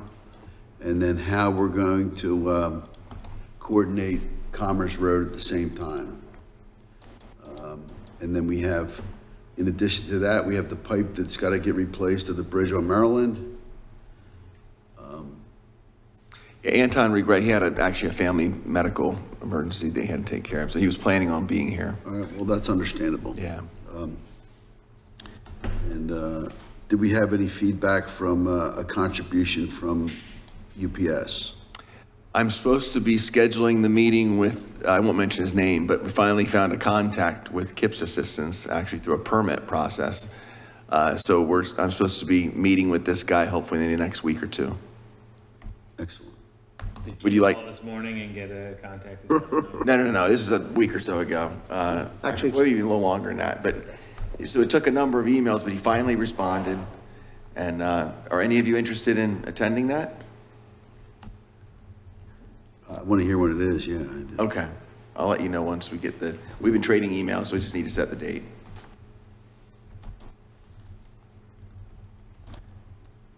Been acting like you. You have to.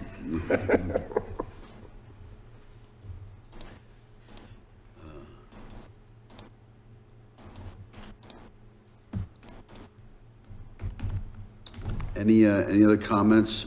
Traffic engineer report? Anything from the public? Okay. Um, You want to give us any updates on the turnpike, Matt? Uh, there are no update on, on which one, the interchange? Yeah. Yeah, so they are out to, to bid right now for selecting the engineering firm. They've reduced it down to two firms, uh, and Montgomery County will make the decision. That was decided by the group. We've provided input. Um, Actually, McMahon is one of the firms. Uh, So we provide our input, and I suspect in the next uh, week or so, they'll make the decision. Um, So that's really the next step, is selecting that engineering firm. Okay. So it was a, a bid proposition or no? It's RFP, yeah. Okay. Okay, that's, that's good news. Um, EAC?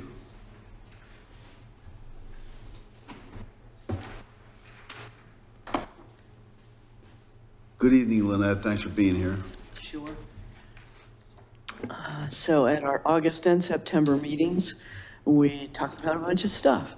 One of them being the Outdoor Environmental Education Center over behind the library. The fence, the new fence is in, so it keeps small kids from running into the street, so we can uh, start doing more things out there. We also now have an ADA compliant door that goes out to there.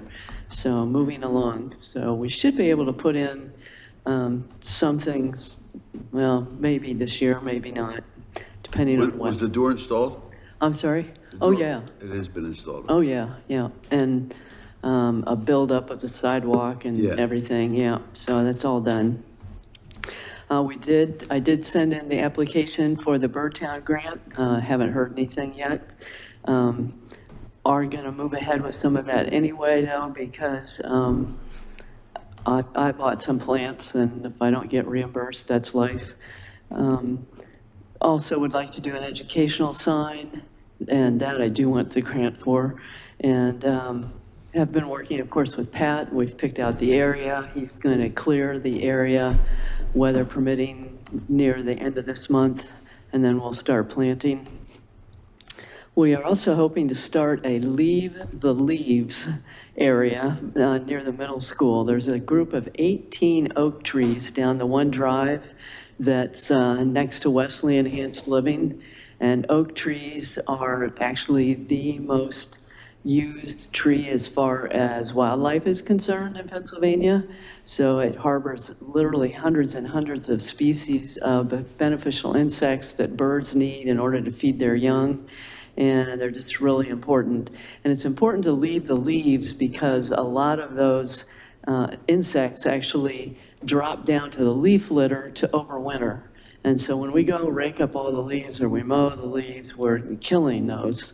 And uh, you've probably heard our bird populations have dropped by about a third in all of North America. And part of the reason is they don't have any food to feed their young because we're trying to keep our lawns, you know, with no leaves, et cetera. So we're going to be working with the district mainly to have them leave the leaves and we would hopefully supply an educational sign as to why we're doing that. And then hopefully it would catch on. And uh, of course, would inform teachers and hopefully use the area for education. Um, Also, hope to start our Going Green talks again that we used to do before COVID. And uh, one of the things we'd kind of like to do as a topic, uh, David can chime in on this. It seems like residents are confused a lot about what goes into the recycling bins. And I know there's stuff on the website and there's stuff in the newsletter, but I know one of my neighbor's trash cans when I lived over in the other neighborhood fell over once. It was their recycling bin. And I was pretty appalled to see what was in there. So I sorted their trash for them. Um, but I think people are just really confused, and there's a lot of wish cycling that, oh, surely this is recyclable, I'll throw it in, and then of course it's not. So it seems like it might be useful to put out some information and maybe have a talk, or I don't know, do a flyer or something. Um, some other things we've thought about is um, how to protect your watershed. Uh, the reason for doing what I'm doing, of getting rid of my front lawn, uh, why that's so important to do that, and instead put in something that has wildlife value. Also, maybe helping people learn how to do some just small repairs so they don't throw everything out. Um, those are just some ideas, certainly open to lots, lots more. Um, We'd also like to promote the Ready for 100 concept, which I think we presented again pre-COVID. And the idea of this is for the township to basically pass a, a we want to do this sort of thing. I'm not even sure what that's called. It's certainly not an ordinance. Um, referendum, I don't know, what do you call that? Resolution. Resolution, that's the word I'm looking for. Or resolution, huh? Where we, you know, the township would basically say, we would like to be 100% renewable energy by, you know, 2040 or whatever. Um, And I'm hoping the police station that's being planned is incredibly energy efficient. And um, you- you're supposed to nod yes. Um, it's not really my department, but the, uh, I'm sure the architects are, uh, working on ways for that to happen. Okay. Um, Also, right now with the um, um, Inflation Reduction Act, there's up to a 30% credit for municipalities. So before municipalities were excluded from that sort of stuff, but now they're included.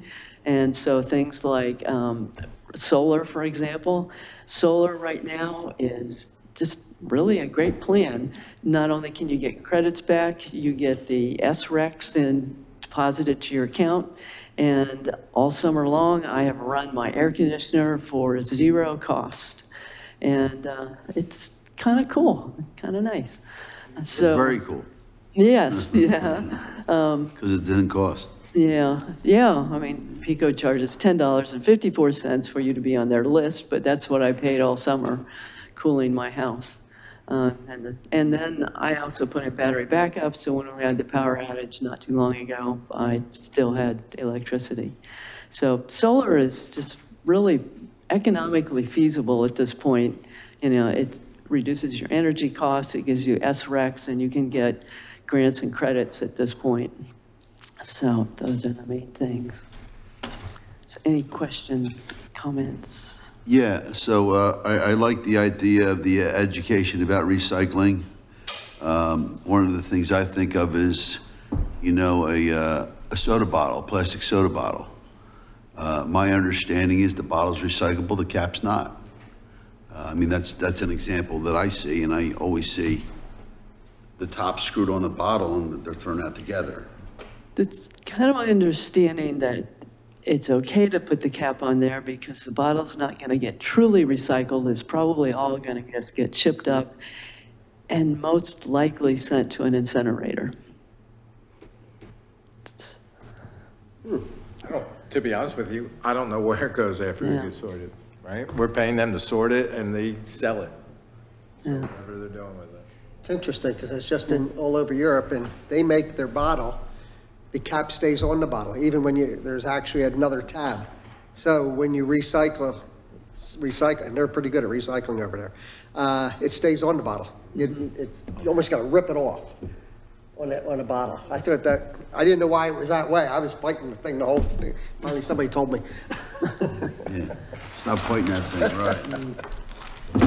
I thought it was. So I, I think, uh, you know, as, when we talk about education, I automatically think of the schools. So does the EAC have a contact that enables you to put information in the virtual backpacks through the school? Um, yes, I think we can do that.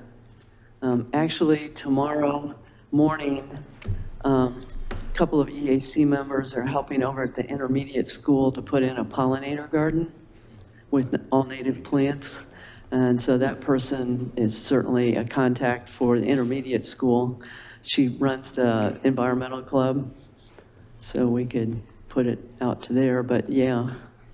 So earlier, we, we talked about quarterly meetings that, uh, administration between the school board and, and the township have. So, you know, I, I would think that if we wanted to put information in the virtual backpacks for the school, it'd have to start at that level first.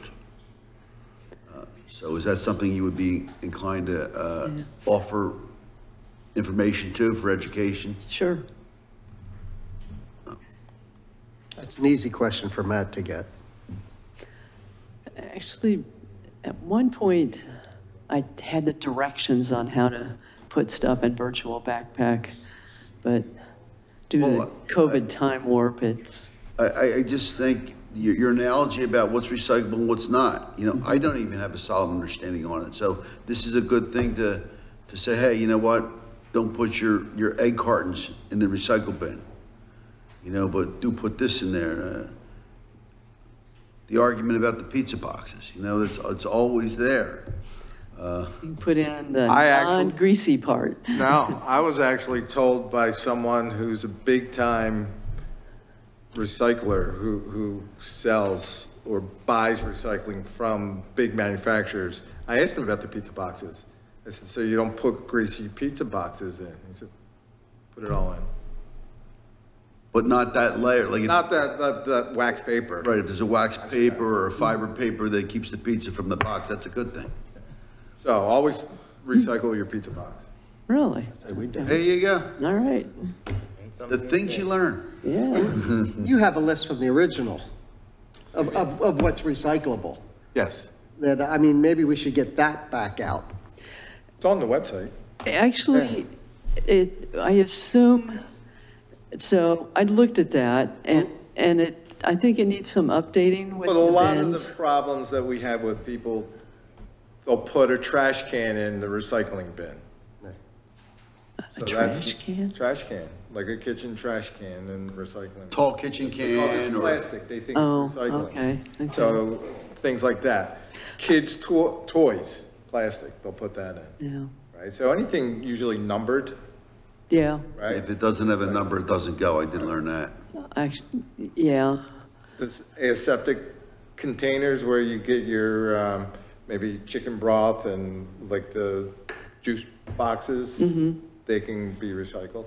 Right. They can, the, Yes, they like can, the paper boxes that are wax? yes. Like your wine box. Wine I'm, bottles go in there all day long. The bag out. yeah. Yeah, you gotta pull the bag out of the wine box, that's right. I assume also that you don't want anything tied with twine? Plastic. because everything has Uh, to go in. Probably not, because Yeah. it's going into the recycling container. Right, and the recycling rec- facility, as I recall with that tour, didn't want anything. Just anything. no plastic bags, no chip bags.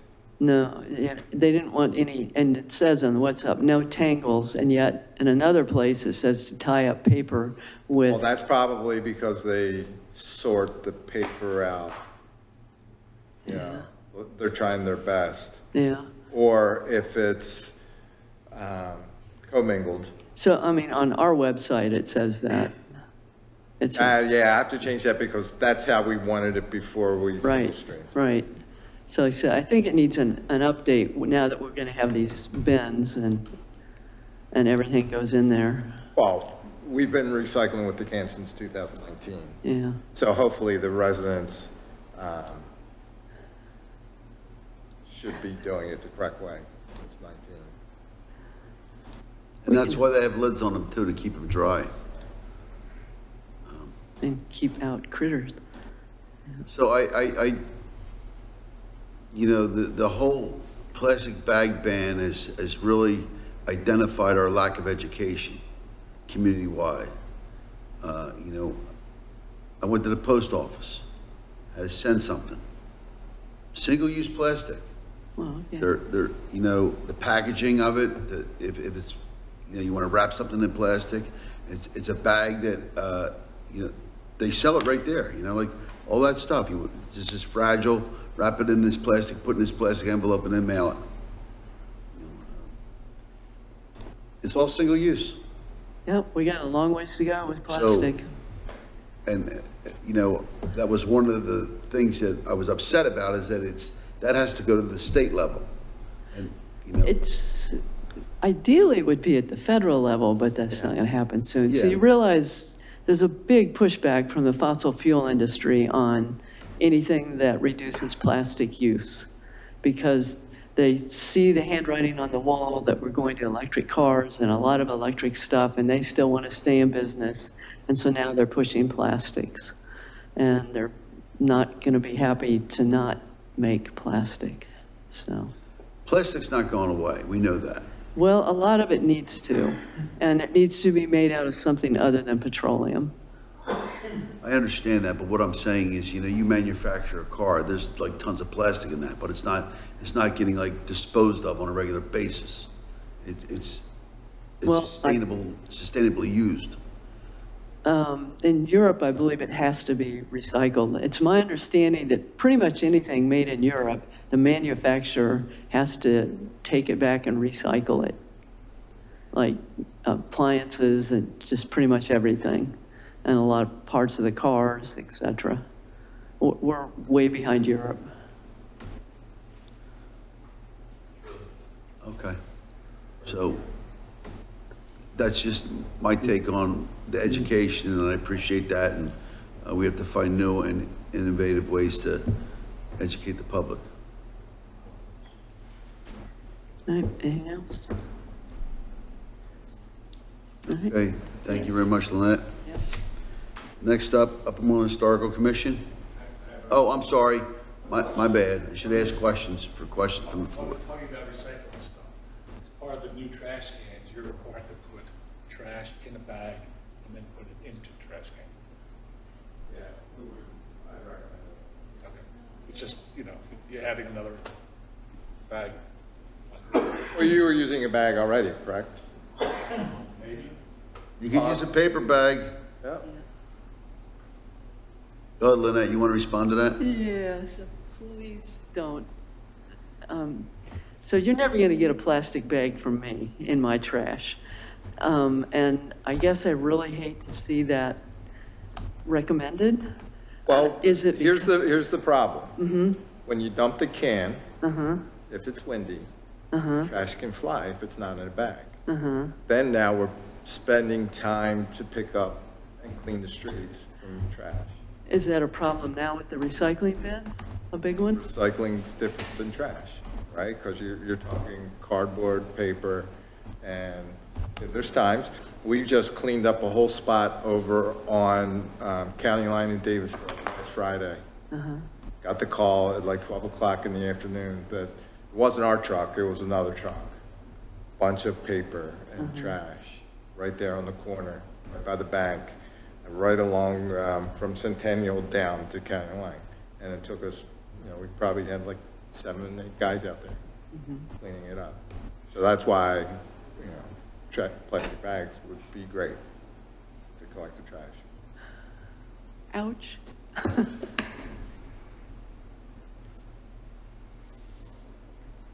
Uh, Any other comments on the uh, EAC report or recycling while we're talking about it? Thank you. Uh, Next up, Upper Moreland Historical Commission. Anyone here?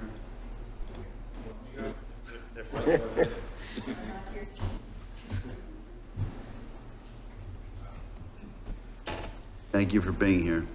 Uh, Udo Marin, 401 Gray Horse Road. Uh, I am the Vice President of the uh, Historical Commission. Uh, I guess earlier this week, or maybe last week, uh, the commission was sent a report of our meeting, our normal meeting, which is Tuesday, the first Tuesday of the uh, the month. Uh, As you are aware, the, uh, the mission of the uh, commission is to maintain and create historical site and inventory in, in the township.